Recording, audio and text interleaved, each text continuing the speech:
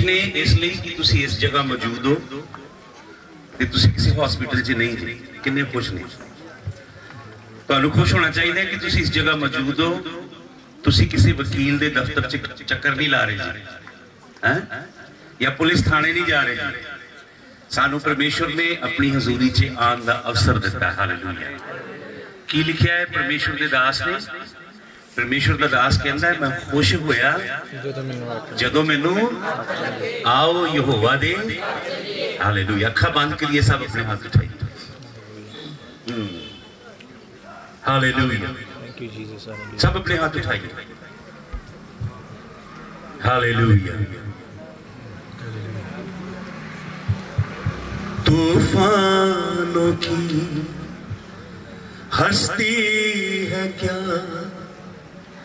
जब ज़िंदा चट्टान पे हो आँखें, तूफानों की हस्ती है क्या?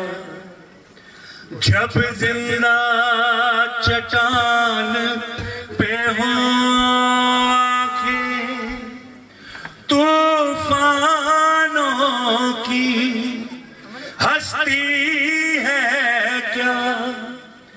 जब ज़िंदा चट्टान पे हो सब गाइए।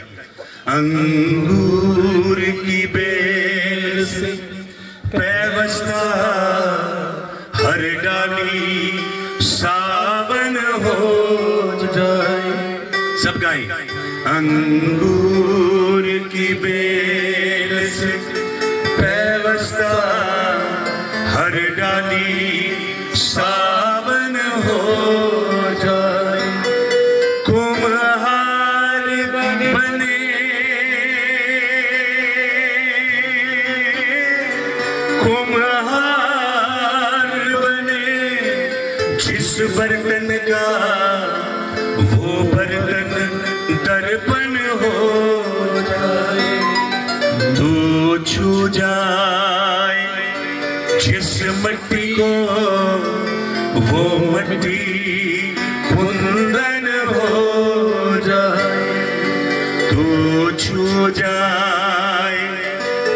செப்பட்டியோ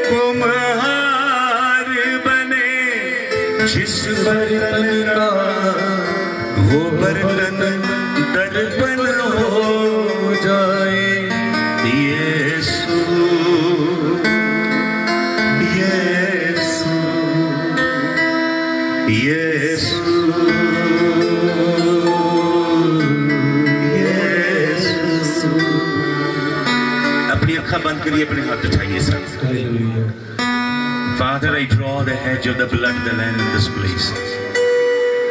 Father, I declare the blood, the presence and the power and the virtue of the blood of the Lamb in this place. Father, mark this place with the blood of the Lamb. Father, I bind every demonic activity in this place. I bind every demonic activity. I loosen the angels of God in this place. Lord, I loosen the angels of God and the precious anointing of your spirit to come and rest upon your people. Hallelujah. Lord, send forth your word, your living word, and change the hearts of your people tonight. तेरे ज़िंदा कलाम को हमारे बीच में जी खुदावन यीशु मसीह के जलाली नाम में इस दुआ को हम मांगते हैं। हालेलुया हालेलुया आइए ऐसी परमेश्वर की वाणी चो कुछ गल्ला मनन करिए। अगर तुहाडे कोल अपनी बाइबल है ते मैं तुहानू तकीद करांगा कि अपनी बाइबल खोलो और परमेश्वर के वचन नु पढ़ो। ਔਰ ਕੋਈ ਪੰਜਾਬੀ ਚ ਪੜੇ ਜਿਹੜੇ ਜਿਹੜੇ ਵਚਨ ਮੈਂ ਤੁਹਾਨੂੰ ਦੱਸਦਾ ਸਭ ਤੋਂ ਪਹਿਲਾਂ ਪਹਿਲਾ ਰਾਜਾ ਉਹਦਾ ਤਿੰਨ ਅਧਿਆਇ ਉਹਦਾ ਪੰਜ ਵਚਨ ਪੜੋ ਪਹਿਲਾ ਰਾਜਾ ਤਿੰਨ ਅਧਿਆਇ ਦਾ ਪੰਜ ਵਚਨ। ਜਲਦੀ ਨਾ ਪੜੀਏ ਗਿਬਿਓਨ ਵਿੱਚ ਰਾਤ ਦੇ ਵੇਲੇ ਸੁਪਨੇ ਵਿੱਚ ਸੁਲੇਮਾਨ ਨੂੰ ਯਹੋਵਾ ਦਾ ਦਰਸ਼ਨ ਹੋਇਆ। ਹਾਲੇਲੂਇਆ। ਹਾਲੇਲੂਇਆ। ਬੜੇ ਧਿਆਨ ਨਾਲ ਮੇਰੇ ਵੱਲ ਤਵੱਜੋ ਦੇ ਕੇ ਵਚਨ ਨੂੰ ਸੁਣਨਾ। ਪਰਮੇਸ਼ਰ ਦੀ ਬਾਣੀ 'ਚ ਲਿਖਿਆ ਹੈ ਕਿ ਇੱਕ ਵਿਅਕਤੀ ਹੈ ਉਹਦਾ ਨਾਮ ਹੈ ਸੁਲੇਮਾਨ। ਕੀ ਨਾਮ ਹੈ ਉਹਦਾ? ਸੁਲੇਮਾਨ। ਸੁਲੇਮਾਨ। ਉਹ ਪਰਮੇਸ਼ਰ ਦੇ ਇੱਕ ਬੜੇ ਸ਼੍ਰੇਸ਼ਟ ਦਾਸ ਜਿਹਦਾ ਨਾਮ ਰਾਜਾ ਦਾਊਦ ਹੈ ਉਹਦਾ ਬੇਟਾ ਹੈ ਔਰ ਉਹ ਜਵਾਨ ਹੈ ਔਰ ਉਹਦੇ ਪਿਤਾ ਨੇ ਉਹਨੂੰ ਯਹੋਵਾ ਦਾ ਪਵਿੱਤਰ ਗਿਆਨ ਯਹੋਵਾ ਦਾ ਪਵਿੱਤਰ ਪਵਿੱਤਰ ਪ੍ਰਕਾਸ਼ ਸੌਂਪਿਆ ਹੈ ਉਹਨੇ ਆਪਣੇ ਪਿਤਾ ਦੇ ਜੀਵਨ ਨੂੰ ਦੇਖਿਆ ਹੈ ਤੇ ਉਹ ਯਹੋਵਾ ਦੇ ਰਾਹਾਂ ਦੇ ਉੱਤੇ ਤੁਰਦਾ ਹੈ ਤੇ ਵਚਨ 'ਚ ਲਿਖਿਆ ਹੈ ਗਿਬਿਓਨ ਨਾਂ ਦੀ ਜਗ੍ਹਾ ਦੇ ਵਿੱਚ ਉਹ ਤੰਬੂ ਜਿਹੜਾ ਮੂਸਾ ਨੇ ਬਿਆਬਾਨ 'ਚ ਬਣਾਇਆ ਸੀ, ਉਹ ਤੰਬੂ ਨੂੰ ਸ਼ਿਲੋ ਦੀ ਹੈਕਲ ਦੇ ਬਾਅਦ ਉੱਥੇ ਸਥਾਪਿਤ ਕੀਤਾ ਗਿਆ। ਜਦੋਂ ਸ਼ਿਲੋ ਦੀ ਹੈਕਲ ਟੁੱਟ ਗਈ ਔਰ ਪਰਮੇਸ਼ਰ ਦੇ ਐ ਤੇ ਸੰਦੂਕ ਨੂੰ ਫਲਿਸ਼ਤੀ ਲੁੱਟ ਕੇ ਲੈ ਗਏ, ਉਹਦੇ ਬਾਅਦ ਗਿਬੀਅਨ ਨਾਂ ਦੀ ਜਗ੍ਹਾ 'ਚ ਮੂਸਾ ਦੇ ਖੇਮੇ ਨੂੰ ਖੜਾ ਕੀਤਾ ਗਿਆ ਔਰ ਉੱਥੇ ਸੁਲੇਮਾਨ ਪਰਮੇਸ਼ਰ ਦੀ ਪ੍ਰਸਤਿਸ਼ ਕਰਦਾ ਹੈ ਤੇ ਰਾਤ ਦੇ ਵੇਲੇ ਸੈਨਾਵਾਂ ਦਾ ਯਹੋਵਾ ਖਾਬ 'ਚ ਉਹਨੂੰ ਦਰਸ਼ਨ ਹਾਲੇਲੂਇਆ। ਹਾਲੇਲੂਇਆ। ਪਰਮੇਸ਼ਵਰ ਦਾ ਦਰਸ਼ਨ ਮਨੁੱਖ ਦੇ ਜੀਵਨ ਦਾ ਰੂਪਾਂਤਰ ਕਰਦਾ ਹੈ। ਇਹ ਹੋ ਨਹੀਂ ਸਕਦਾ ਕਿ ਯਹੋਵਾ ਦੇ ਨਾਲ ਤੁਹਾਡੀ ਭੇਟ ਹੋਵੇ, ਯਹੋਵਾ ਦਾ ਦਰਸ਼ਨ ਤੁਹਾਨੂੰ ਮਿਲੇ ਤੇ ਤੁਸੀਂ ਪਾਪ ਦੇ ਵਿੱਚ ਜੀਵਨ ਗੁਜ਼ਾਰੋ। ਇਹ ਸੰਭਵ ਨਹੀਂ ਹੈ। ਹਾਲੇਲੂਇਆ ਕਿਉਂਕਿ ਯਹੋਵਾ ਦੇ ਨਾਲ ਐਨਕਾਊਂਟਰ ਯਹੋਵਾ ਦੇ ਨਾਲ ਕਿਸੇ ਵੀ ਮਨੁੱਖ ਦੀ ਮੁਲਾਕਾਤ ਉਹਦੇ ਜੀਵਨ ਦਾ ਸਾਰ ਬਦਲ ਦਿੰਦੀ ਹੈ ਸੋ ਬਚਨ 'ਚ ਲਿਖਿਆ ਹੈ ਯਹੋਵਾ ਨੇ ਸੁਲੇਮਾਨ ਨੂੰ ਦਰਸ਼ਨ ਦਿੱਤਾ ਖਾਬ 'ਚ ਇੱਕ ਵਚਨ ਹੋਰ ਪੜੋ ਜਲਦੀ ਨਾਲ ਪਹਿਲਾ ਰਾਜਾ 9 ਦੇ ਇਹਦਾ ਦੋ ਵਚਨ ਪੜੋ ਜਲਦੀ ਜਲਦੀ ਪਹਿਲਾ ਰਾਜਾ 9 ਦੇ ਇਹਦਾ ਦੋ ਵਚਨ ਤਦ ਯਹੋਵਾ ਨੇ ਸੁਲੇਮਾਨ ਨੂੰ ਦੁਬਾਰਾ ਦਰਸ਼ਨ ਦਿੱਤਾ ਤਦ ਯਹੋਵਾ ਨੇ ਸੁਲੇਮਾਨ ਨੂੰ ਦੁਬਾਰਾ ਦਰਸ਼ਨ ਦਰਸ਼ਨ ਦਿੱਤਾ। ਪਹਿਲਾਂ ਯਹੋਵਾ ਪਰਮੇਸ਼ਵਰ ਤਿੰਨ ਅਧਿਆਇ ਚ ਦਰਸ਼ਨ ਦਿੰਦਾ ਹੈ ਔਰ ਉਸ ਦਰਸ਼ਨ ਦੇ ਫਲ ਸਰੂਪ ਸੁਲੇਮਾਨ ਯਹੋਵਾ ਦਾ ਤਾਲਿਬ ਬਣ ਜਾਂਦਾ ਹੈ। ਯਹੋਵਾ ਦਾ ਮੁਸ਼ਤਾਕ ਬਣ ਜਾਂਦਾ ਹੈ। ਉਹਦੇ ਰਾਵਾਂ ਦੀ ਪੈਰਵੀ ਕਰਦਾ ਹੈ। ਉਹਦਾ ਖੋਜੀ ਬਣ ਜਾਂਦਾ ਹੈ।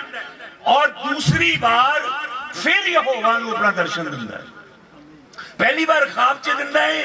ਦੂਸਰੀ ਵਾਰ ਰੂਬਰੂ ਯਹੋਵਾ ਪਰਮੇਸ਼ਵਰ ਦੇ ਜਲਾਲ ਚੋਂ ਸੁਲੇਮਾਨ ਦੀ ਭੇਟ ਯਹੋਵਾ ਦੇ ਨਾਲ ਹੁੰਦੀ ਹੈ। ਇਹ ਵਾਕਿਆ ਕੀ ਹੈ? ਪਹਿਲੀ ਵਾਰ ਹਲੇ ਉਹ ਜਵਾਨ ਹੈ ਯਹੋਵਾ ਦਾ ਖੋਜੀ। ਉਹਨੇ ਯਹੋਵਾ ਦਾ ਤਜਰਬਾ ਆਪਣੇ ਪਿਤਾ ਦੇ ਕੋਲੋਂ ਹਾਸਲ ਕੀਤਾ ਹੈ। ਉਹਨੂੰ ਯਹੋਵਾ ਦਰਸ਼ਨ ਦਿੰਦਾ ਹੈ। ਉਹ ਖੁਦ ਯਹੋਵਾ ਦੇ ਨਾਲ ਆਪਣਾ ਰਿਸ਼ਤਾ ਸਥਾਪਿਤ ਕਰਦਾ ਹੈ। ਯਹੋਵਾ ਦੇ ਰਾਹਾਂ ਨੂੰ ਜਾਣਦਾ ਹੈ। ਯਹੋਵਾ ਦੇ ਹੁਕਮਾਂ ਨੂੰ, ਯਹੋਵਾ ਦੀ ਵਿਧੀਆਂ ਨੂੰ, ਯਹੋਵਾ ਦੇ ਕਲਾਮ ਦੇ ਨਾਲ ਵਿਫਾਕਤ ਕਰਦਾ ਹੈ। ਫਿਰ ਉਹ ਕੀ ਕਰਦਾ ਹੈ ਯਹੋਵਾ ਪਰਮੇਸ਼ਵਰ ਦੇ ਲਈ ਇੱਕ ਆਲੀਸ਼ਾਨ ਹੈਕਲ ਤਿਆਰ ਕਰਦਾ ਹੈ ਹਾਲੇਲੂਇਆ ਜਦੋਂ ਯਹੋਵਾ ਦੇ ਲਈ ਇੱਕ ਆਲੀਸ਼ਾਨ ਹੈਕਲ ਤਿਆਰ ਕਰਦਾ ਹੈ ਤੁਹਾਨੂੰ ਪਤਾ ਹੈ ਜਿਹੜੀ ਹੈਕਲ ਸੁਲੇਮਾਨ ਨੇ ਬਣਾਈ ਉਸ ਹੈਕਲ ਨੂੰ ਅਗਰ ਅੱਜ ਬਣਾਇਆ ਜਾਏ ਤੇ ਲਗਭਗ 278 ਜਾਂ 300 ਬਿਲੀਅਨ ਡਾਲਰ ਲੱਗੇਗਾ 1 ਬਿਲੀਅਨ ਡਾਲਰ ਦੇ ਵਿੱਚ 70000 ਕਰੋੜ ਰੁਪਇਆ ਹੁੰਦਾ ਜੀ ਇੰਡੀਆ ਦਾ। ਸਾਡੇ ਦੇਸ਼ ਦਾ ਸਭ ਨਾਲੋਂ ਅਮੀਰ ਬੰਦਾ ਕੌਣ ਹੈ? ਮੁਕੇਸ਼ ਅੰਬਾਨੀ। ਇਸ ਵੇਲੇ ਏਸ਼ੀਆ ਦਾ ਸਭ ਤੋਂ ਅਮੀਰ ਬੰਦਾ ਹੈ ਉਹਦੇ ਕੋਲ ਇੱਕ ਤਿਹਾਈ ਪੈਸਾ ਵੀ ਨਹੀਂ ਹੈ। ਜਿੰਨਾ ਪੈਸਾ ਸੁਲੇਮਾਨ ਦੀ ਹੈਕਲ ਨੂੰ ਬਣਾਉਣ ਲਈ ਲੱਗਦਾ, ਉਹਦਾ ਇੱਕ ਤਿਹਾਈ ਪੈਸਾ ਵੀ ਉਹਦੇ ਕੋਲ ਨਹੀਂ ਹੈ। ਸੁਲੇਮਾਨ ਇੱਕ ਆਲੀਸ਼ਾਨ ਹੈਕਲ ਬਣਾਉਂਦਾ ਹੈ। ਯਹੋਵਾ ਨੂੰ ਅਰਪਣ ਕਰਦਾ ਹੈ 10000 ਬੈਲ 1 ਲੱਖ 20000 ਭੇਡਾਂ ਦੀ ਇੱਕੋ ਵੇਲੇ ਲੈਵਿਸ਼ ਕੁਰਬਾਨੀ ਯਹੋਵਾ ਦੇ ਮੋਹਰੇ ਦਿੱਤੀ ਜਾਂਦੀ ਹੈ। ਤੇ ਵਚਨ 'ਚ ਲਿਖਿਆ ਹੈ, ਸੈਨਾਵਾਂ ਦਾ ਯਹੋਵਾ ਸੁਰਗ ਤੋਂ ਧਰਤੀ ਤੇ ਉਤਰਦਾ ਹੈ ਤੇ ਉਹਦਾ ਜਲਾਲ ਸਾਰੀ ਹੈਕਲ ਨੂੰ ਭਰ ਦਿੰਦਾ ਹੈ। ਉੱਥੇ ਕਾਹਿਨ, ਲਾਵੀ, ਪੁਰੋਹਿਤ ਹੈਕਲ 'ਚ ਖੜੇ ਹੋ ਕੇ ਯਹੋਵਾ ਦੀ ਆਰਾਧਨਾ ਨਹੀਂ ਕਰ ਸਕੇ, ਕਿਉਂਕਿ ਇਸ ਕਦਰ ਯਹੋਵਾ ਦਾ ਗਹਿਰਾ ਜਲਾਲ ਹੈਕਲ 'ਚ ਛਾ ਜਾਂਦਾ ਹੈ। ਪਰਮੇਸ਼ਵਰ ਸੁਲੇਮਾਨ ਨੂੰ ਦੂਜੀ ਵਾਰ ਦਰਸ਼ਨ ਦਿੰਦਾ ਇੱਕ ਵਚਨ ਹੋਰ ਪੜੋ ਪਹਿਲਾ ਰਾਜਾ ਉਹਦਾ ਤਿੰਨ ਅਧਿਆਏ ਉਹਦਾ ਤਿੰਨ ਵਚਨ ਪੜੋ ਜਲਦੀ ਨਾਲ ਪਹਿਲਾ ਰਾਜਾ ਤਿੰਨ ਦਾ ਤਿੰਨ। ਅਤੇ ਸੁਲੇਮਾਨ ਦੀ ਯਹੋਵਾ ਨਾਲ ਲਗਨ ਸੀ। ਸੁਲੇਮਾਨ ਦੀ ਯਹੋਵਾ ਨਾਲ ਕੀ ਸੀ? ਅਸਲੀ ਭਾਸ਼ਾ 'ਚ ਲਿਖਿਆ ਹੈ ਹੀਬਰੂ ਵਰਡ ਹੈ ਆਹਾਵਾ ਸੁਲੇਮਾਨ ਯਹੋਵਾ ਨੂੰ ਪਿਆਰ ਕਰਦਾ ਕੀ ਕਰਦਾ ਹੈ? ਆਹਾਵਾ ਦਾ ਮਤਲਬ ਹੁੰਦਾ ਗਹਿਰਾ ਪਿਆਰ। ਸੁਲੇਮਾਨ ਦਾ ਪਿਆਰ ਕਿਹਦੇ ਨਾਲ ਹੈ ਸਾਰੇ ਬੋਲੋ ਕਿਹਦੇ ਨਾਲ ਹੈ ਤੁਸੀਂ ਕਿਹਦੇ ਨਾਲ ਪਿਆਰ ਕਰਦੇ ਜੀ ਕਿਹੜੇ ਯਹੋਵਾ ਨੂੰ ਪਿਆਰ ਕਰਦੇ ਨੇ? ਆਪਣਾ ਹੱਥ ਖੜਾ ਕਰੋ। ਬੋਲੋ ਮੇਰਾ ਪਿਆਰ ਮੇਰੇ ਨਾਲ ਬੋਲੋ। ਮੇਰਾ ਪਿਆਰ ਪਿਆਰ ਇਹ ਸੈਨਾਵਾਂ ਦੀ ਯਹੋਵਾ ਇਹ ਸੈਨਾਵਾਂ ਦੀ ਯਹੋਵਾ ਤੇਰੇ ਨਾਲ ਹੈ। ਤੇਰੇ ਨਾਲ ਹੈ। ਸੁਲੇਮਾਨ ਯਹੋਵਾ ਨੂੰ ਡਾਢਾ ਪਿਆਰ ਕਰਦਾ ਹੈ। ਕਿਉਂਕਿ ਯਹੋਵਾ ਨੇ ਸੁਲੇਮਾਨ ਨੂੰ ਦਰਸ਼ਨ ਦਿੱਤਾ ਦੋ ਵਾਰੀ। ਯਹੋਵਾ ਨੇ ਸੁਲੇਮਾਨ ਨੂੰ ਖੁਦ ਕਿਹਾ, ਮੰਗ ਤੂੰ ਮੇਰੇ ਕੋਲੋਂ। ਮਜ਼ਾ ਇਸ ਗੱਲ ਦਾ ਹੈ ਕਿ ਪਰਮੇਸ਼ਵਰ ਤੁਹਾਨੂੰ ਕਵੇ, ਮੰਗ ਤੈਨੂੰ ਕੀ ਚਾਹੀਦਾ ਹੈ?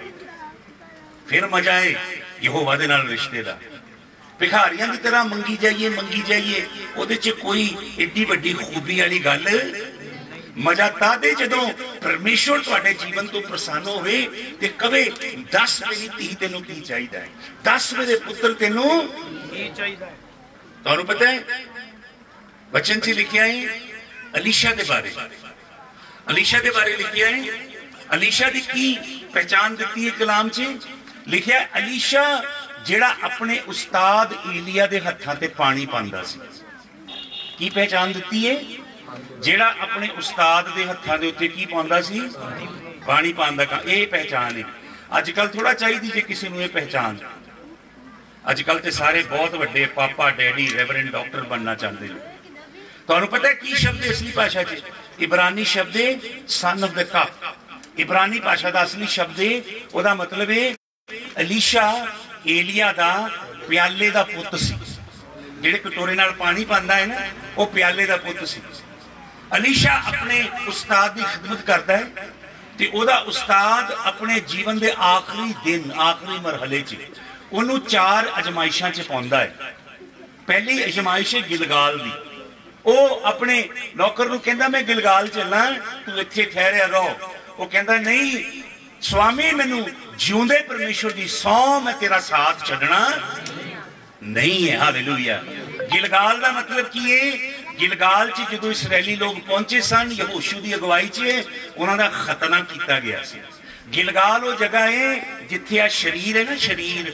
ਸ਼ਰੀਰ ਦੀ ਖੁਆਸ਼ਾਂ ਸ਼ਰੀਰ ਦੀ ਵਾਸਨਾ ਅੱਖਾਂ ਦੀ ਅਭਿਲਾਸ਼ਾ ਜਿਸਮ ਦੀ ਖੁਆਸ਼ਾਂ ਇਹਨਾਂ ਨੂੰ ਕੀ ਕੀਤਾ ਜਾਂਦਾ ਹੈ ਵੱਡਿਆ ਜਾਂਦਾ। ਹੈ ਤੇ ਮਾਸ ਦਾ ਵੱਢਿਆ ਜਾਣਾ ਲੋਕਾਂ ਨੂੰ ਪਸੰਦ। ਲੋਕ ਅੱਜ ਇਹੋ ਜੀ ਮੰਡਲੀਆਂ 'ਚ, ਇਹੋ ਜੀ ਕਲੀਸਿਆਵਾਂ 'ਚ ਜਾਣਾ ਪਸੰਦ ਕਰਦੇ ਐ, ਜਿੱਥੇ ਸਰਜਰੀ ਨਹੀਂ ਕਰਦੇ ਪਾਦਰੀ ਲੋਕ, ਜਿੱਥੇ ਵੱਡਾ ਅਮੀਨ ਤੇ ਵੱਡੀ ਬਰਕਤ। ਮੰਗੋ ਯਿਸੂ ਮਸੀਹ ਤੋਂ ਕੀ ਚਾਹੀਦਾ ਹੈ ਭਵਿੱਖਬਾਣੀਆਂ ਦੀ ਪਰਮਾਰ ਹੁੰਦੀ ਜੇ, ਬਰਕਤਾਂ ਦੀ ਬਰਸਾਤ ਹੁੰਦੀ ਜੇ, ਜਿੱਥੇ ਸੱਚਾ ਕਲਾਮ ਨਹੀਂ ਹੈ ਇਹ ਜਿਹੜਾ ਸਾਡਾ ਉਸਤਾਦ ਏ, ਯਿਸੂ ਨਾਸਰੀ ਜੀ ਦਾ ਨਾਮ ਹੈ ਮੱਤੀ 7:14 'ਚ ਉਹ ਕਹਿੰਦਾ ਹੈ ਕੀ ਕਹਿੰਦਾ ਹੈ ਜਿਹੜਾ ਮੇਰੇ ਪਿੱਛੇ ਆਣਾ ਚਾਹੇ, ਉਹ ਆਪਣਾ ਕਰੂਸ ਚੱਕੇ। ਤੇ ਆਪਣੇ ਆਪ ਦਾ ਇਹ ਜਿਸਮ ਤੇ ਜਿਸਮ ਦੀ ਖੁਆਇਸ਼ਾਂ ਦਾ ਇਨਕਾਰ ਕਰੇ। ਫਿਰ ਕੀ ਕਹਿੰਦਾ ਹੈ? ਉਹ ਤੰਗ ਫਾਟਕ ਦੇ ਵਿੱਚੋਂ ਦੀ ਬੜੇ ਕਿੱਥੋਂ ਬੜੇ ਤੇ ਸਕਰੇ ਮਾਰਗ ਤੇ ਚੱਲੇ। ਹਾਲੇਲੂਇਆ।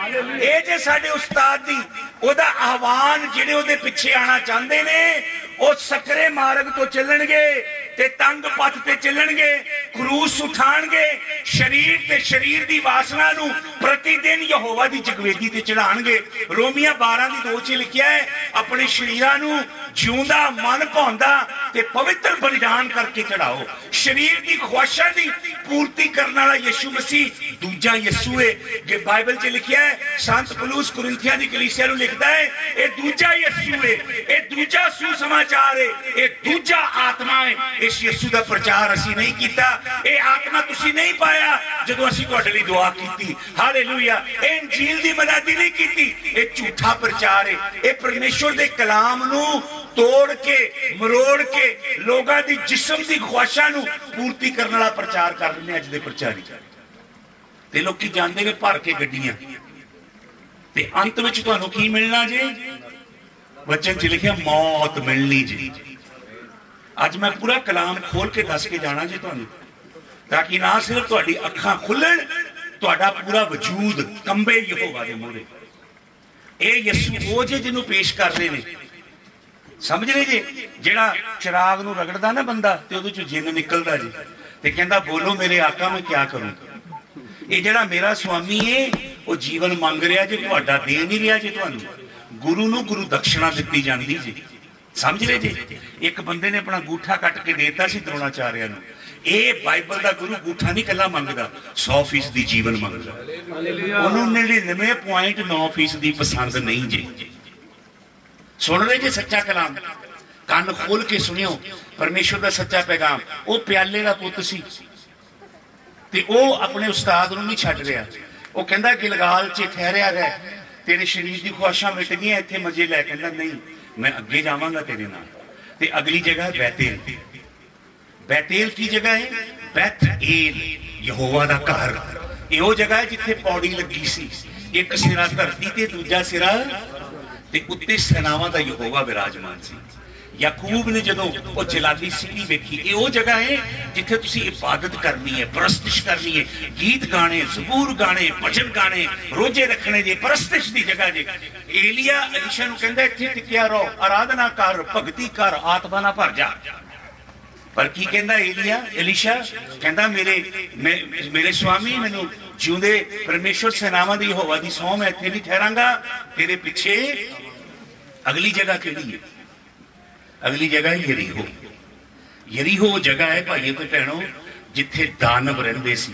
ਜਿਹੜੇ ਉੱਚੇ ਉੱਚੇ, ਲੰਬੇ ਲੰਬੇ, ਜਿਨ੍ਹਾਂ ਦੇ ਅੰਦਰ ਸ਼ੈਤਾਨ ਦਾ ਬੀਜ ਸੀ। ਉਤਪਤੀ ਪੁਸਤਕ 6 ਦੇ ਆਏ 'ਚ ਸ਼ੈਤਾਨ ਨੇ ਜਿਹੜਾ ਡੀਐਨਏ ਕਰਪਟ ਕੀਤਾ, ਮਨੁੱਖ ਜਾਤੀ ਦੇ ਡੀਐਨਏ ਵਿੱਚ ਆਪਣਾ ਬੀਜ ਪਾਤਾ। ਪ੍ਰਭੂ ਯਿਸੂ ਨੇ ਕੀ ਕਿਹਾ? ਪ੍ਰਭੂ ਯਿਸੂ ਨੇ ਕਿਹਾ, ਕਿਸਾਨ ਨੇ ਚੰਗਾ ਬੀਜ ਬੀਜਿਆ। ਉਹ ਕਿਸਾਨ ਹੈ ਯਹੋਵਾ ਪਰਮੇਸ਼ਵਰ। ਜਦੋਂ ਦੇ ਨੌਕਰਾਂ ਨੇ ਦੇਖਿਆ ਜਾ ਕੇ ਤੇ ਜੰਗਲੀ ਬੂਟੀ ਨਿਕਲ ਆਈ, ਉਹਨਾਂ ਨੇ ਆਪਣੇ ਸਵਾਮੀ ਨੂੰ ਦੱਸਿਆ ਕਿ ਤੁਸੀਂ ਚੰਗਾ ਬੀਜ ਨਹੀਂ ਸੀ ਬੀਜਿਆ, ਇਹ ਜੰਗਲੀ ਬੂਟੀ ਕਿੱਥੋਂ ਨਿਕਲ ਆਈ ਏ? ਤੇ ਉਹ ਸਵਾਮੀ ਨੇ ਕਿਹਾ, ਇਹ ਜ਼ਰੂਰ ਵੈਰੀ ਦਾ ਕੰਮ ਹੈ ਹਾਲੇਲੂਇਆ ਇਹ ਜੰਗਲੀ ਬੀਜ ਸੀ, ਉਤਪਤੀ ਦੀ ਪੁਸਤਕ 'ਚ ਸ਼ੈਤਾਨੀ ਫਰਿਸ਼ਤਿਆਂ ਨੇ ਤੀਵੀਆਂ ਦੇ ਨਾਲ ਸੰਗ ਕਰਕੇ ਨਫਲੀਮ ਪੈਦਾ ਕੀਤੇ। ਇਬਰਾਨੀ ਸ਼ਬਦ ਨਫਲੀਮ, ਉਹਦੇ ਬਾਅਦ ਅਗਲੀ ਪੀੜ੍ਹੀ ਪੈਦਾ ਹੋਈ ਗਿਬਰੀਨ ਸ਼ਬਦ, ਜਿਹਨੂੰ ਲਾਤੀਨੀ 'ਚ ਜਿਗੰਟਸ ਕਿਹਾ ਗਿਆ, ਦੈਤ ਵੱਡੇ ਵੱਡੇ ਉਹਨਾਂ ਨੇ ਧਰਤੀ ਨੂੰ ਭ੍ਰਿਸ਼ਟ ਕਰਤਾ, ਮਨੁੱਖ ਦੇ ਡੀਐਨਏ ਨੂੰ ਕਰਪਟ ਕਰਤਾ।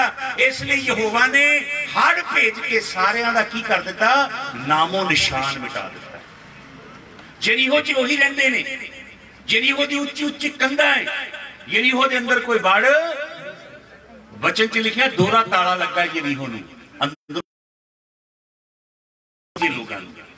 ਹਾਲੇਲੂਇਆ ਜ਼ਿਆਦਾਤਰ ਲੋਕ ਬੈਤਲ 'ਚ ਬਹਿ ਕੇ ਭਗਤੀ ਕਰਨਗੇ, ਗੀਤ ਭਜਨ ਗਾਣਗੇ, ਲੇਕਿਨ ਭਗਤੀ ਆਰਾਧਨਾ ਪਰਸਤਿਸ਼ ਤੁਹਾਨੂੰ ਤਿਆਰ ਕਰ ਰਹੀ ਹੈ ਦੈਂਤਾਂ ਦੇ ਨਾਲ ਲੜਾਈ ਕਰਨ ਦੇ ਲਈ। ਕਿਉਂਕਿ ਦੈਂਤਾਂ ਨੇ ਵਾਅਦੇ ਦੀ ਧਰਤੀ ਤੇ ਕਬਜ਼ਾ ਕੀਤਾ ਹੈ। ਉਹ ਮਿਰਾਸ, ਉਹ ਦੇਸ਼ ਜਿੱਥੇ ਦੁੱਧ ਤੇ ਸ਼ਹਿਦ ਦੀ ਨਦੀਆਂ ਵਗਦੀਆਂ ਜੇ, ਉਹਦੇ ਉੱਤੇ ਦੈਂਤਾਂ ਨੇ, ਗੰਦੀਆਂ ਬਦਰੂਆਂ ਨੇ ਕਬਜ਼ਾ ਕੀਤਾ ਹੈ। ਉਹਨੂੰ ਛੁਡਾਉਣਾ ਪਏਗਾ। ਹਾਲੇਲੂਇਆ ਹਾਲੇਲੂਇਆ ਪ੍ਰਭੂ ਦਾ ਦਾਸ ਅਲੀਸ਼ਾ ਨੂੰ ਕਹਿੰਦਾ, ਇੱਥੇ ਠਹਿਰਿਆ ਰਹੋ।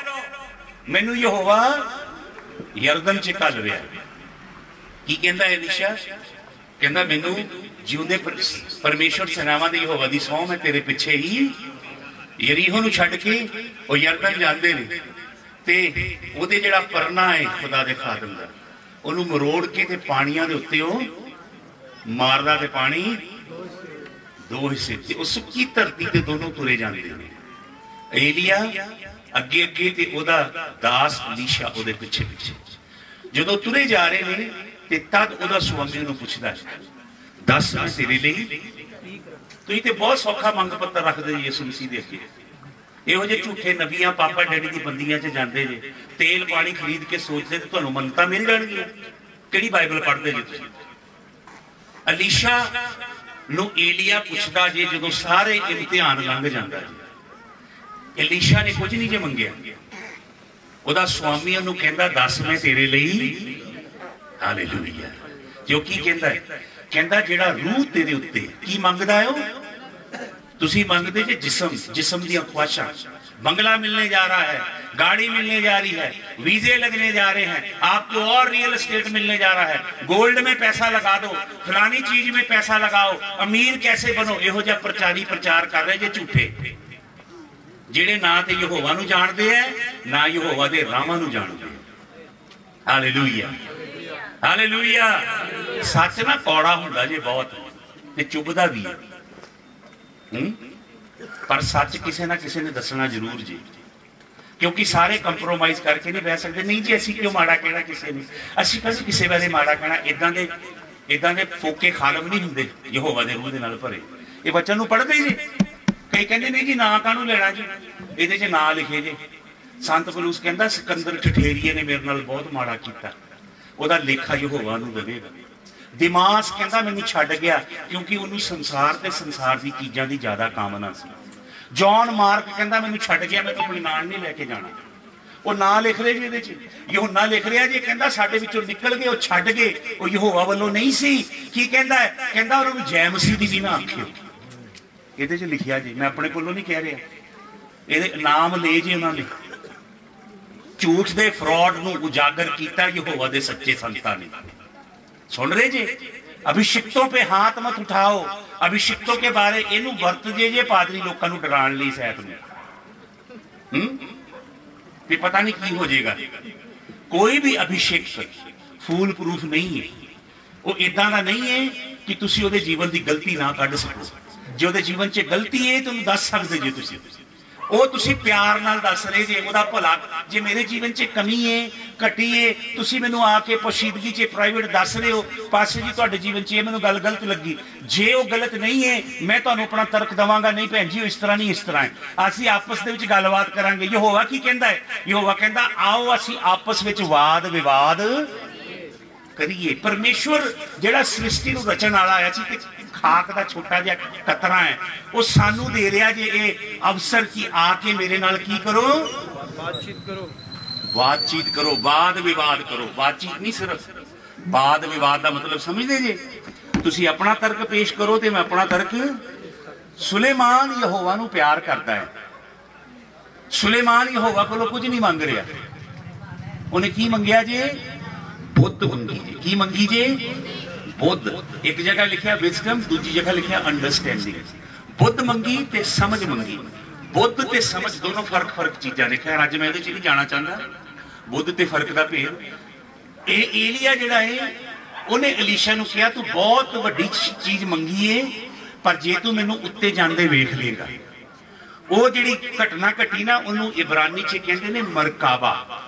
ਮਰਕਾਬਾ ਦਾ ਮਤਲਬ ਹੁੰਦਾ ਹੈ, ਜਦੋਂ ਯਹੋਵਾ ਦੇ ਰੱਥ ਉੱਤੋਂ ਦੀ ਥੱਲੇ ਆਉਂਦੇ ਨੇ ਤੇ ਸਵਰਗ ਖੁੱਲ ਜਾਂਦਾ ਹੈ।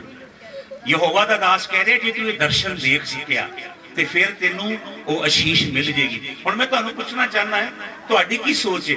ਕਿ ਤੁਸੀਂ ਇਹ ਸੋਚਦੇ ਹੋ ਕਿ ਅਲੀਸ਼ਾ ਏਲੀਆ ਕੋਲੋਂ ਦੁੱਗਣਾ ਪਵਿੱਤਰ ਆਤਮਾ ਦਾ ਅਭਿਸ਼ੇਕ ਇਸ ਲਈ ਮੰਗ ਰਿਹਾ ਸੀ ਤਾਂ ਕਿ ਦੁੱਗਣੇ ਚਮਤਕਾਰ ਦਿਖਾਵੇ? ਦੁੱਗਣੀਆਂ ਕਰਾਮਾਤਾਂ ਕਰੇ, ਦੁੱਗਣੀ ਉਹਦੀ ਬੱਲੇ ਬੱਲੇ ਹੋਏ, ਦੁੱਗਣੇ ਉਹਦੇ ਪੋਸਟਰ ਲੱਗਣ ਜਗ੍ਹਾ ਜਗ੍ਹਾ ਲਿਖਿਆ ਜ਼ਰੂਰ ਹੋਏਗਾ ਯਿਸੂ ਜੀ ਦਾ ਪ੍ਰਚਾਰ, ਪਰ ਹੋਣਾ ਨਹੀਂ ਜੀ ਉਹਦਾ। ਸਿਰਫ ਲਿਖਿਆ ਹੀ ਜੀ ਸੁਣ ਰਹੇ ਜੀ? ਇਸ ਲਈ ਮੰਗ ਰਿਹਾ ਜੀ ਕਿ ਦੁੱਗਣੀ ਆਪਣੀ ਤਾਕਤ ਦਿਖਾਵੇ। ਬਿਲਕੁਲ ਨਹੀਂ। ਉਹ ਕੀ ਕਹਿ ਰਿਹਾ ਆਪਣੇ ਉਸਤਾਦ ਨੂੰ? ਉਹ ਆਪਣੇ ਉਸਤਾਦ ਨੂੰ ਕਹਿ ਰਿਹਾ ਜਿਹੜਾ ਰੂਹ ਤੇਰੇ ਉੱਤੇ, ਉਹਦਾ ਮੈਨੂੰ ਕੀ ਦੇ? ਦੁੱਗਣਾ ਹਿੱਸਾ ਦੇ। ਤੁਹਾਨੂੰ ਪਤਾ ਦੁੱਗਣਾ ਹਿੱਸਾ ਕਿਹਨੂੰ ਮਿਲਦਾ ਜੀ? ਵਿਵਸਥਾ ਸਾਰ ਚ ਲਿਖਿਆ ਹੈ, ਜਿਹੜਾ ਪਲੋਠਾ ਪੁੱਤਰ ਹੁੰਦਾ, ਉਹਨੂੰ ਦੁੱਗਣਾ ਹਿੱਸਾ ਮਿਲਦਾ ਜੀ ਜੇਠੇ ਪੁੱਤ ਨੂੰ ਦੁੱਗਣਾ ਹਿੱਸਾ। ਜਿਹੜਾ ਜੇਠੇ ਦੇ ਬਾਅਦ ਜੰਮੇ ਉਹਨੂੰ ਦੁੱਗਣਾ ਹਿੱਸਾ। ਜਿਹੜਾ ਮਾਂ ਦੀ ਕੁੱਖ ਨੂੰ ਖੋਲ ਕੇ ਪਹਿਲਾ ਪੁੱਤ ਬਾਹਰ ਆਂਦਾ ਜੀ, ਉਹਨੂੰ ਦੁੱਗਣਾ ਹਿੱਸਾ। ਐਲੀਸ਼ਾ ਨੂੰ ਪਤਾ ਹੈ ਕਿ ਲੋਕੀ ਮੈਨੂੰ ਪਿਆਲੇ ਦਾ ਪੁੱਤ ਕਹਿੰਦੇ ਨੇ। ਅਲੀਸ਼ਾ ਆਪਣੇ ਉਸਤਾਦ ਨੂੰ ਕਹਿ ਰਿਹਾ ਹੈ ਕਿ ਮੇਰੀ ਪਹਿਚਾਨ ਤੇ ਸਿਰਫ ਪਿਆਲੇ ਦਾ ਪੁੱਤ ਹੈ ਹਾਲੇਲੂਇਆ ਤੂੰ ਮੈਨੂੰ ਪਿਆਲੇ ਦਾ ਪੁੱਤ ਨਹੀਂ, ਸਗੋਂ ਆਪਣਾ ਸੱਚਾ ਪੁੱਤ ਬਣਾ ਹਾਲੇਲੂਇਆ। ਆਪਣਾ ਪਲੋਠਾ ਬਣਾ ਮੈਨੂੰ ਪਲੋਠੇ ਹੋਣ ਦਾ ਹੱਕ ਦੇ ਮੈਨੂੰ ਦੁੱਗਣਾ ਹਿੱਸਾ ਦੇ, ਹਾਲੇਲੂਇਆ। ਇਸ ਲਈ ਉਹ ਆਪਣੇ ਉਸਤਾਦ ਕੋਲੋਂ ਕੀ ਮੰਗ ਰਿਹਾ ਹੈ ਕਿ ਜਿਹੜਾ ਰੂਹ ਤੇਰੇ ਉੱਤੇ ਹੈ, ਉਹਦਾ ਦੁੱਗਣਾ ਹਿੱਸਾ ਮੈਨੂੰ ਦੇ, ਹਾਲੇਲੂਇਆ। ਰੂਹਾਨੀ ਚੀਜ਼ਾਂ ਦੀ ਖੋਜ ਕਰੋ। ਬਾਈਬਲ 'ਚ ਲਿਖਿਆ, ਇਫਸੀਆਂ ਦੀ ਪੱਤਰੀ 'ਚ, ਧੰਨਵਾਦ ਹੋਏ ਸਾਡੇ ਸਵਰਗੀ ਪਿਤਾ ਦਾ ਤੇ ਸਾਡੇ ਪ੍ਰਭੂ ਯਿਸੂ ਮਸੀਹ ਦੇ ਪਰਮੇਸ਼ਰ ਦਾ, ਜਿਨੇ ਸਾਨੂੰ ਸਵਰਗੀ ਥਾਵਾਂ 'ਚ ਹਰ ਤਰ੍ਹਾਂ ਦੀ ਰੂਹਾਨੀ ਬਰਕਤ ਦੇ ਦਿੱਤੀ। ਕਿਹੜੀ ਬਰਕਤ ਦਿੱਤੀ ਹੈ ਪਿਤਾ ਨੇ ਤੁਹਾਨੂੰ? ਰੂਹਾਨੀ ਬਰਕਤਾਂ ਦਾ ਜ਼ਖੀਰਾ ਤੁਹਾਡੇ ਲਈ। ਇੱਕ ਪਰਮੇਸ਼ਰ ਨੇ ਵਿਰਾਸ ਰੱਖੀ ਏ, ਉਹਦੇ ਵਿੱਚੋਂ ਹਰ ਚੀਜ਼ਾਂ ਪ੍ਰਗਟ ਹੋਣਗੀਆਂ ਧਰਤੀ ਤੇ ਜਿਹੜੀਆਂ ਤੁਹਾਨੂੰ ਚਾਹੀਦੀਆਂ। ਲੇਕਿਨ ਤੁਹਾਡੀ ਜੀਵਨ ਦੀ ਖੋਜ ਹੋਣੀ ਚਾਹੀਦੀ ਜੇ ਰੂਹਾਨੀ ਚੀਜ਼ਾਂ। ਹਾਲੇਲੂਇਆ ਰੂਹਾਨੀ ਦੇ ਵਿੱਚੋਂ ਜਿਸਮਾਨੀ ਵਗਦੀਆਂ ਜੇ। ਤੋਂ ਵਚਨ 'ਚ ਲਿਖਿਆ ਏ, ਇਹ ਯਹੋਵਾ ਨੂੰ ਪਿਆਰ ਕਰਦਾ ਹੈ ਤੇ ਬਹੁਤ ਤਰੱਦਦ ਦੇ ਨਾਲ ਪਿਆਰ ਕਰਦਾ ਹੈ ਇਹਨੇ ਹੈਕਲ ਬਣਾਈ ਹੈ ਯਹੋਵਾ ਦੇ ਲਈ। ਯਹੋਵਾ ਨੇ ਇਹਨੂੰ ਯਸ਼ ਦਿੱਤਾ ਹੈ ਨਾਂ ਦਿੱਤਾ ਕੀਰਤੀ ਦਿੱਤੀ ਹੈ ਯਹੋਵਾ ਨੇ ਬਹੁਤ ਵੱਡਾ ਸਿੰਘਾਸਨ ਇਹਨੂੰ ਦਿੱਤਾ। ਸੁਲੇਮਾਨ ਦੇ ਜੀਵਨ 'ਚ ਯਹੋਵਾ ਨੇ ਹਰ ਤਰ੍ਹਾਂ ਦੀ ਸ਼ੀਸ਼ ਦਿੱਤੀ। ਧਰਤੀ ਦੇ ਬਹੁਤ ਸਾਰੇ ਦੇਸ਼ਾਂ ਦੇ ਲੋਕ, ਰਾਜੇ, ਮਹਾਰਾਜੇ, ਰਾਣੀਆਂ ਸੁਲੇਮਾਨ ਦੇ ਦੇਸ਼ 'ਚ ਜਾਂਦੇ ਸਨ ਤੇ ਜੱਥੇ ਜਾਂਦੇ ਸਨ ਕਾਫਿਲੇ। ਉਹ ਸੁਲੇਮਾਨ ਦੇ ਲਈ ਕੀਮਤੀ ਚੀਜ਼ਾਂ ਤੋਹਫੇ ਦੇ ਲਈ ਨਜ਼ਰਾਨੇ ਲੈ ਕੇ ਜਾਂਦੇ ਸਨ। ਸੁਲੇਮਾਨ ਦਾ ਯਸ਼ ਫੈਲਿਆ। ਸੁਲੇਮਾਨ ਨੇ ਇਜ਼ਰਾਈਲ ਦੀ ਹੱਦਾਂ ਨੂੰ ਵਧਾਇਆ। ਇਜ਼ਰਾਈਲ ਫਲਵੰਤ ਹੋਇਆ ਪੈਸੇ ਦੇ ਤੌਰ ਤੇ ਤੇ ਵਚਨ 'ਚ ਪਤਾ ਕੀ ਲਿਖਿਆ ਹੈ ਵਚਨ 'ਚ ਲਿਖਿਆ ਹੈ ਸੋਨੇ ਦੀ ਵਾਫਰੀ ਸੀ ਸੁਲੇਮਾਨ ਦੇ ਵੇਲੇ ਸੋਨੇ ਦੀ ਕੀ ਸੀ ਤੇ ਚਾਂਦੀ ਨੂੰ ਕੋਈ ਪੁੱਛਦਾ ਵੀ ਗੁੱਲਰ ਦੇ ਵਾਂਗਰ ਸੀ ਹੈ ਗੁੱਲਰ ਦੇ ਵਾਂਗਰ ਸੀ ਚਾਹ ਹਾਂ ਗੁੱਲਰ ਦੇ ਵਾਂਗੂ ਚਾਂਦੀ ਨੂੰ ਕੋਈ ਨਹੀਂ ਸੀ ਪੁੱਛਦਾ origignal ਹੀਬਰੂ ਚ ਲਿਖਿਆ ਗਿਆ ਸੋਨੇ ਦੀ ਵਾਫਰੀ ਸੀ ਹਰ ਪਾਸੇ ਖੁਸ਼ਹਾਲੀ ਖੁਸ਼ਹਾਲੀ ਸੀ ਕਿਉਂ ਕਿਉਂਕਿ ਇੱਕ ਧਰਮੀ ਰਾਜਾ ਯਹੋਵਾ ਨੂੰ ਪਿਆਰ ਕਰਦਾ ਹੈ। ਲੇਕਿਨ ਹੋਇਆ ਕੀ ਵਚਨ ਚ ਕੀ ਲਿਖਿਆ ਹੈ ਜਿਹੜਾ ਪੈਸਾ ਹੈ ਨਾ ਪੈਸਾ ਯਿਸੂ ਮਸੀਹ ਕਹਿੰਦੇ ਨੇ ਡਿਸੀਟਫੁਲਨੈਸ ਆਫ ਰਿਚਸ ਪੈਸੇ ਦਾ ਧੋਖਾ ਕਹਿੰਦੇ ਨੇ ਪੈਸੇ ਦਾ ਕੀ ਹੈ ਵਚਨ 'ਚ ਇਹ ਨਹੀਂ ਲਿਖਿਆ ਕਿ ਪੈਸਾ ਹਰ ਬੁਰਾਈ ਦੀ ਜੜ ਹੈ ਵਚਨ 'ਚ ਲਿਖਿਆ ਪੈਸੇ ਦਾ ਪਿਆਰ ਹਰ ਬੁਰਾਈ ਦੀ ਜੜ ਹੈ ਪੈਸੇ ਦੇ ਨਾਲ ਇਸ਼ਕ ਕਰਨਾ ਪੈਸੇ ਦੇ ਨਾਲ ਮੁਹੱਬਤ ਕਰਨਾ ਆਪਣੀ ਰੂਹਾਨੀਅਤ ਨੂੰ ਪੈਸਾ ਇਕੱਠਾ ਕਰਨ ਦਾ ਜ਼ਰੀਆ ਬਣਾਉਣਾ ਸੁਸਮਾਚਾਰ ਨੂੰ ਪੈਸਾ ਇਕੱਠਾ ਕਰਨ ਦਾ ਜ਼ਰੀਆ ਬਣਾਉਣਾ। ਇਹ ਕੀ ਹੈ ਬਹੁਤ ਵੱਡੀ ਲਾਨਤ ਦਾ ਬਾਇਸ ਹੈ ਮੈਂ ਇਤਿਹਾਸ ਪੜ੍ਹਿਆ ਜੇ, ਮੈਂ 150 ਦੇਸ਼ਾਂ 'ਚ ਜਾ ਕੇ ਸੇਵਾ ਕਰਦਾ ਮੈਨੂੰ 26 ਸਾਲ ਹੋ ਗਏ ਦੁਨੀਆ 'ਚ ਜਾਂਦੇ ਨੂੰ। ਦੁਨੀਆ ਦੇ ਹਰ ਵੱਡੇ ਵੱਡੇ ਖਾਲਮ ਨੂੰ ਮੈਂ ਮਿਲਿਆ ਬਹੁਤ ਇਤਿਹਾਸ ਦਾ ਅਧਿਐਨ ਕੀਤਾ ਇਹ ਬਾਈਬਲ ਨੂੰ ਇਬਰਾਨੀ, ਯੂਨਾਨੀ, ਲਾਤੀਨੀ ਭਾਸ਼ਾ 'ਚ ਮੈਂ ਪੜ੍ਹਦਾ ਜੀ origignal ਟੈਕਸਟ 'ਚ। ਅਮਰੀਕਾ 'ਚ ਮੈਂ ਪੜ੍ਹ ਕੇ ਅਮਰੀਕਾ 'ਚ ਪੀਐਚਡੀ ਕੀਤੀ 2006 'ਚ। ਇਹ ਵਚਨ ਦਾ ਖੋਜੀ ਹੈ ਮੈਂ। ਮੈਂ ਦੁਨੀਆ ਦੇ ਵਿੱਚ ਘੁੰਮ ਕੇ ਦੇਖਿਆ ਜੇ ਕਿ ਪੈਸੇ ਨੇ ਬੜਿਆਂ ਦਾ ਬੇੜਾ ਗਰਕ। ਕਿਉਂਕਿ ਪੈਸਾ ਹੌਲੀ ਹੌਲੀ ਬੰਦੇ ਦੇ ਦਿਲ ਨੂੰ ਕੀ ਕਰਦਾ ਏ? ਕਰਪਟ ਕਰਦਾ। ਪੈਸਾ ਇੱਕ ਬਹੁਤ ਵਧੀਆ ਨੌਕਰ ਜੇ ਤੇ ਪੈਸਾ ਇੱਕ ਬਹੁਤ ਮਾੜਾ ਸੁਆਮੀ ਹੈ ਪਰ ਪੈਸਾ ਤੁਹਾਡੇ ਦਿਲ ਤੱਕ ਤੁਹਾਨੂੰ ਪਤਾ ਹੈ ਲੋਕੀ ਬਹੁਤ ਸਾਰਾ ਪੈਸਾ ਲਿਆਉਂਦੇ ਸਨ ਜਦੋਂ ਪਹਿਲੀ ਕਲੀਸਿਆ ਸਥਾਪਿਤ ਹੋਈ ਆਪਣੀ ਜ਼ਮੀਨ ਜਾਇਦਾਦਾਂ ਵੇਚ ਕੇ ਪੈਸਾ ਪੋਟਲੀਆਂ 'ਚ ਬੰਨ ਬੰਨ ਕੇ ਲਿਆ ਕੇ ਕਿੱਥੇ ਸਿੱਟਦੇ ਸਨ? ਰਸੂਲਾਂ ਦੇ ਕਦਮਾਂ 'ਚ। ਕਿੱਥੇ? ਰਸੂਲਾਂ ਦੇ ਕਦਮਾਂ 'ਚ। ਇੱਥੋਂ ਇੱਥੋਂ ਰਸੂਲ ਇੱਥੇ ਨਹੀਂ ਸਨ ਪੁੱਜਣ ਦਿੰਦੇ। ਕਿੱਦਾਂ ਦੇ ਰਸੂਲ ਸਨ? ਸਧਾਰਨ ਰਸੂਲ ਸਨ ਖੁਦਾ। ਉਹਨਾਂ ਦੇ ਪੈਰਾਂ 'ਚ ਸਿੱਟਦੇ ਸਨ। ਲੇਕਿਨ ਕੀ ਲਿਖਿਆ ਹੈ? ਜਦੋਂ ਜਾ ਰਹੇ ਨੇ ਸੁੰਦਰ ਗੇਟ ਵੱਲ ਦੁਆ ਕਰਨ ਲਈ ਪਤਰਸ ਤੇ ਯਹੂਨਾ ਤੇ ਉੱਥੇ ਭਖਾਰੀ ਭੀਖ ਮੰਗ ਰਿਹਾ ਹੈ। ਉਹਨਾਂ ਵੱਲ ਪੈਸੇ ਦੀ ਆਸ ਰੱਖ ਕੇ ਵੇਖਦਾ ਹੈ ਤੇ ਪਤਰਸ ਕੀ ਕਹਿੰਦਾ ਉਹਨੂੰ? ਪਤਰਸ ਕਹਿੰਦਾ ਸੋਨਾ ਤੇ ਚਾਂਦੀ ਮੇਰੇ ਕੋਲ ਨਹੀਂ ਆ। ਹਾਲੇਲੂਇਆ ਇਸ ਤਰ੍ਹਾਂ ਦੇ ਅਜ਼ੀਮ ਖੁਦਾ ਦੇ ਬੰਦੇ ਸਨ। ਹਾਲੇਲੂਇਆ ਅੱਜ ਤੇ ਲੋਕ ਚਾਹੁੰਦੇ ਨੇ ਕਿ ਬੜੀ ਮਹਿੰਗੀ ਕਾਰ 'ਚ ਸੇਵਕ ਆਏ, ਬੜੇ ਮਹਿੰਗੇ ਲੀੜੇ ਹੋਣ, ਇੱਧਰ ਵੀ ਟੀਮ ਘੁੰਮਦੀ ਹੋਏ, ਉੱਧਰ ਵੀ 10 ਬੋਡੀਗਾਰਡ ਆ ਰਹੇ ਹੋਣ ਤੇ ਇੱਧਰ ਗੀਤ ਲੱਗਾ ਹੋਏ। ਮੈਂ ਕਿਉਂ ਡਰਾਂ? ਮੈਂ ਕਿਉਂ ਡਰਾਂ? ਤੇ ਉਧਰੋਂ ਸੰਤ ਜੀ ਆ ਰਹੇ ਹੋਣ 10 ਬੋਡੀਗਾਰਡ ਲੈ ਕੇ। ਮੇਰਾ ਮਕਸਦ ਤੁਹਾਨੂੰ ਸਿਰਫ ਇਕੱਠੇ ਕਰਕੇ ਮਾਹੌਲ ਕਰਨਾ ਨਹੀਂ, ਮੇਰਾ ਮਕਸਦ ਅੱਜ ਤੁਹਾਨੂੰ ਬੜੀ ਗਹਿਰੀ ਗੱਲ ਦੱਸਣ ਦਾ ਹੈ ਪਰਮੇਸ਼ਵਰ ਦੇ ਕਲਾਮ 'ਚ। ਜਿਨੇ ਮਸੀਹਤ ਦਾ ਬੇੜਾ ਗਰਕ ਕੀਤਾ ਸਮਝ ਰਹੇ ਜੀ? ਉਹ ਗੱਲਾਂ ਦੱਸਣ ਲਈ ਯਹੋਵਾ ਨੇ ਮੈਨੂੰ ਤੁਹਾਡੇ ਵਿੱਚ ਘੱਲਿਆ ਜੀ। ਕੀ ਹੋਇਆ? ਸੁਲੇਮਾਨ ਦਾ ਜੀਵਨ ਦੇਖੋ ਕਿਸ ਤਰ੍ਹਾਂ ਪਰਤਿਆ। ਪੜੋ ਅੱਗੇ ਜਲਦੀ ਨਾਲ। ਪੜੋ ਜਲਦੀ ਨਾਲ। ਪਹਿਲਾ ਰਾਜਾ ਦਾ 11 ਤੇ ਪਹਿਲਾ ਰਾਜਾ 11 ਤੇ ਆਈ ਪੜੀਏ ਪਹਿਲਾ ਰਾਜਾ 11 ਸੁਲੇਮਾਨ ਬਾਦਸ਼ਾਹ ਨੇ ਫਿਰੌਨ ਦੀ ਧੀ ਤੋਂ ਬਿਨਾ ਬਹੁਤ ਸਾਰੀਆਂ ਉਪਰੀਆਂ ਇਸਤਰੀਆਂ ਨਾਲ ਪ੍ਰੀਤ ਲਾ ਲਈ। ਅਰਥਾਤ ਮੁਆਬਨਾ ਅਮੋਨਨਾ ਅਦਮਾਨਾ ਸਿਦਨਾਨਾ ਅਤੇ ਹਿਤਨਾ ਨਾਲ। ਇਹ ਉਹਨਾਂ ਕੌਮਾਂ ਵਿੱਚੋਂ ਸਨ ਜਿਨ੍ਹਾਂ ਦੇ ਵਿਖੇ ਯਹੋਵਾ ਨੇ ਇਸرائیਲੀਆਂ ਨੂੰ ਆਖਿਆ ਸੀ, ਭਈ ਤੁਸੀਂ ਇਹਨਾਂ ਦੇ ਵਿੱਚ ਨਾ ਜਾਇਓ ਅਤੇ ਨਾ ਉਹ ਤੁਹਾਡੇ ਵਿੱਚ ਆਉਣ।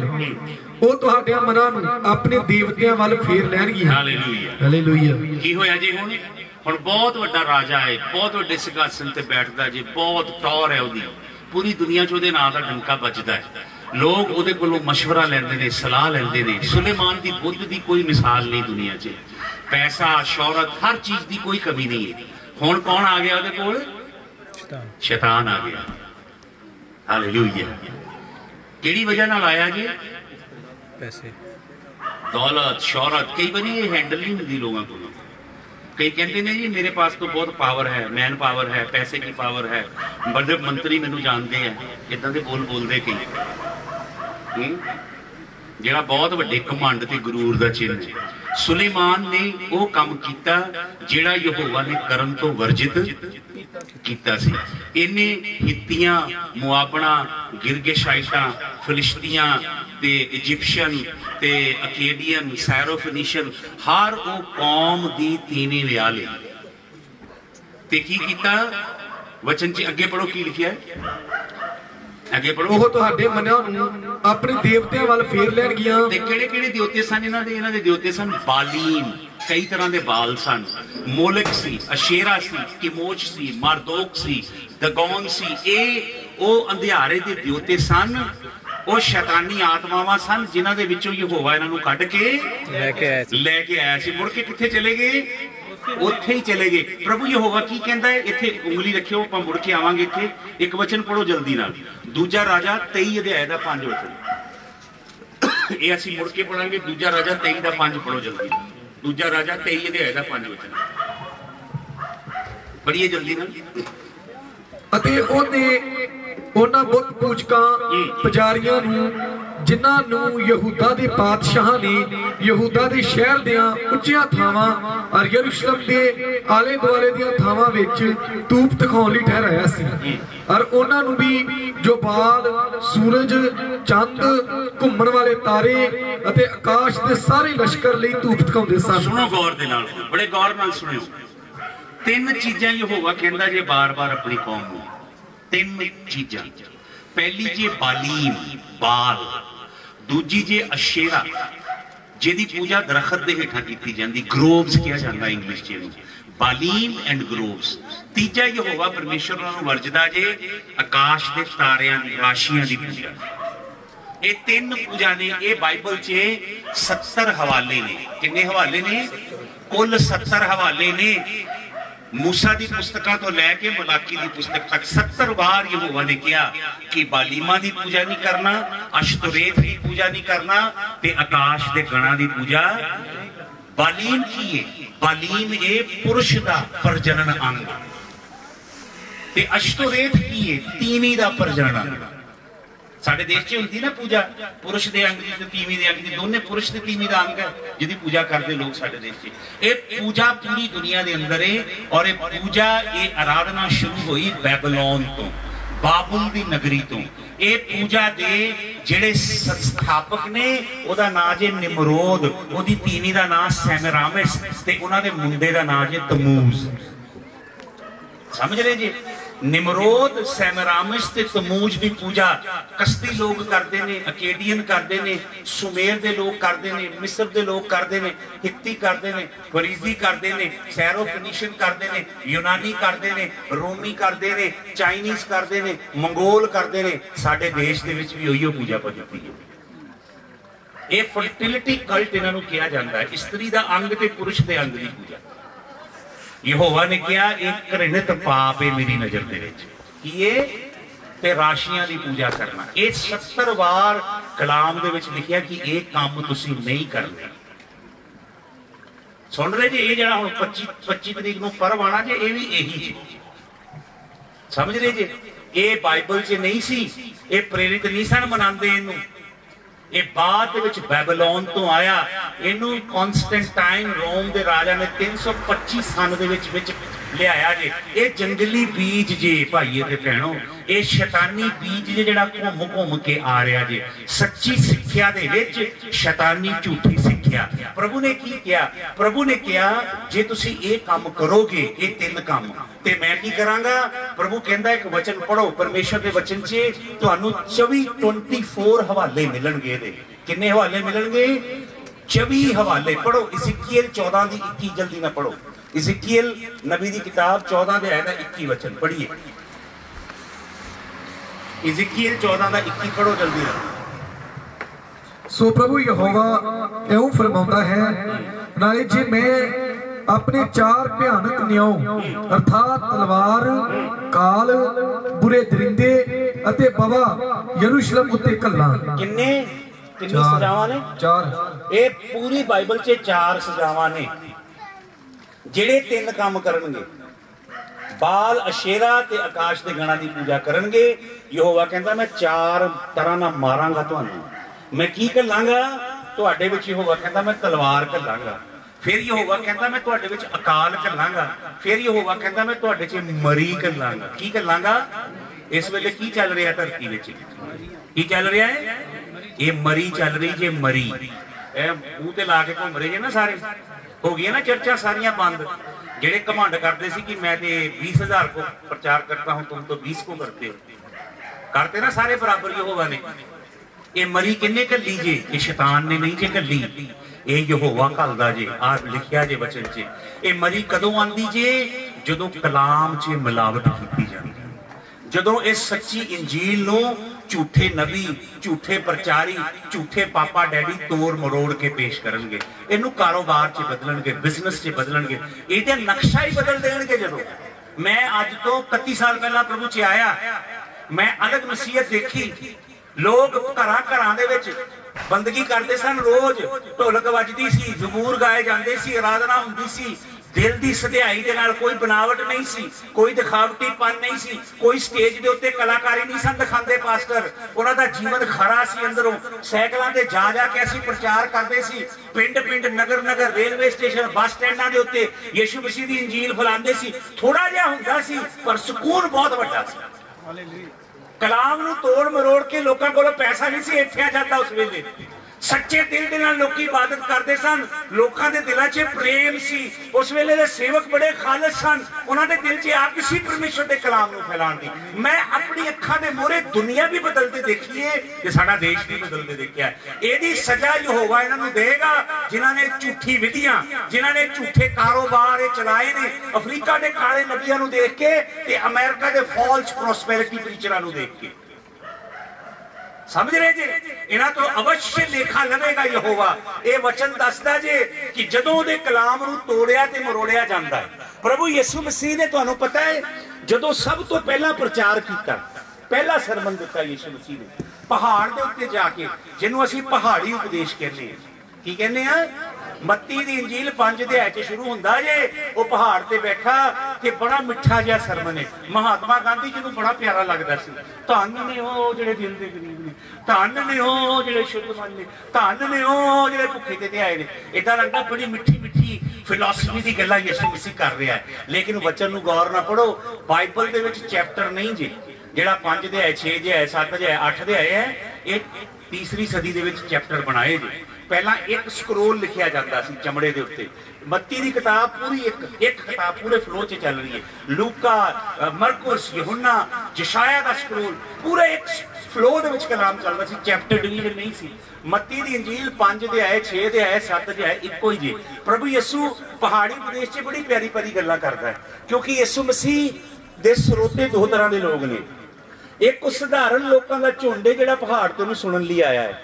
ਜਿਹੜੇ ਖਰਾਈ ਤੇ ਸਧਿਆਈ ਦੇ ਨਾਲ ਸੁਰਗ ਦੇ ਰਾਜ ਦੀ ਬਾਟ ਜੋਰੇ ਨੇ, ਉਹਨਾਂ ਦੇ ਨਾਲ ਯਿਸੂ ਮਸੀਹ ਬੜੀ ਪਿਆਰੀ ਪਿਆਰੀ ਗੱਲਾਂ ਕਰਦਾ ਜੇ ਬੱਤੀ ਦੀ ਇੰਜੀਲ 5 ਅਧਿਆਏ ਦੇ ਪਹਿਲੇ 12 13 ਵਚਨ ਪੜ੍ਹ ਲਈਏ। ਲੇਕਿਨ ਜਦੋਂ 14ਵਾਂ 15ਵਾਂ ਆਇਤ ਆਂਦੀ ਜੇ, ਯਿਸੂ ਮਸੀਹ ਗੇਅਰ ਚੇਂਜ ਕਰ ਦਿੰਦਾ ਜੀ। ਪਹਿਲਾਂ ਉਹਨਾਂ ਦੇ ਨਾਲ ਗੱਲ ਕਰਦਾ ਜੀ, ਜਿਹੜੇ ਸੱਚੇ ਦਿਲ ਦੇ ਨਾਲ ਪਰਮੇਸ਼ਵਰ ਦੇ ਰਾਜ ਦੀ ਵਾਟ ਜੋਰੇ ਸਨ। ਉਹਨਾਂ ਨੂੰ ਐਲਾਨ ਕਰਕੇ ਦੱਸਦਾ ਕਿ ਰਾਜ ਆ ਗਿਆ ਤੇ ਉਹ ਰਾਜ ਦੇ ਵਿੱਚ ਵਾਰਿਸ ਕੌਣ ਹੋਣਗੇ, ਜਿਨ੍ਹਾਂ ਦੇ ਵਿੱਚ 8 ਗੁਣ ਨੇ ਇਹ। ਉਹ ਉਸ ਰਾਜ ਦੇ ਵਾਰਿਸ ਹੋਣਗੇ। ਫਿਰ ਉਹ ਕੀ ਕਹਿੰਦਾ ਹੈ? ਪੜੋ ਮਤੀ ਦੀ ਇੰਜੀਲ 'ਚ ਆਓ ਜਲਦੀ ਨਾਲ। ਮਤੀ ਦੀ ਇੰਜੀਲ ਉਹਦਾ 5 ਅਧਿਆਇ। ਮਤੀ ਦੀ ਇੰਜੀਲ ਉਹਦਾ 5 ਅਧਿਆਇ। ਉਹਦਾ ਤੁਸੀਂ ਪੜੋ ਜਲਦੀ ਨਾਲ। 17 ਵਚਨ ਤੋਂ ਜਲਦੀ ਜਲਦੀ ਪੜੀਏ ਮੱਤੀ 5 ਤੇ 17 ਇਹ ਨਾ ਸਮਝੋ ਭਾਈ ਮੈਂ ਤੁਰੇਤ ਜਾਂ ਨਬੀਆਂ ਨੂੰ ਖੰਡਨ ਆਇਆ ਹਾਂ। ਯਿਸੂ ਮਸੀਹ ਕੀ ਕਹਿੰਦਾ ਹੈ ਕਹਿੰਦਾ ਇਹ ਨਾ ਸੋਚਿਓ ਕਈ ਲੋਕ ਝੂਠਾ ਕਲਾਮ ਸਿਖਾਉਂਦੇ ਨੇ ਕਿ ਪੁਰਾਣਾ ਨੇਮ ਤੇ ਖਤਮ ਹੋ ਗਿਆ। ਕਈ ਇਸ ਤਰ੍ਹਾਂ ਦੇ ਨੇ ਹਾਈਪਰ ਗ੍ਰੇਸ ਵਾਲੇ। ਸਿੰਗਾਪੁਰ ਤੋਂ ਜਿਹੜੀ ਜੋਜ਼ਫ ਪ੍ਰਿੰਸ ਦੀ ਡਾਕਟਰ ਨੇ ਹਾਈਪਰ ਗ੍ਰੇਸ। ਇਹ ਕਲੀਮ ਸ਼ੈਤਾਨੀ ਹੈ ਗਲਤ ਨਹੀਂ ਹੈ ਸ਼ੈਤਾਨੀ ਹੈ ਪੁਰਾਣਾ ਨੇਮ ਸਾਡੀਆਂ ਜੜਾਂ ਨੇ ਕਦੇ ਕੋਈ ਦਰਖਤ ਵੇਖਿਆ ਜਿਹੜਾ ਕਹਿੰਦਾ ਹੋਵੇ ਵੀ ਵੱਢ ਸੁੱਟੋ ਮੇਰੀਆਂ ਜੜਾਂ, ਮੈਨੂੰ ਵੀ ਚਾਹੀਦੀਆਂ ਜੜਾਂ। ਵੇਖਿਆ ਜੀ?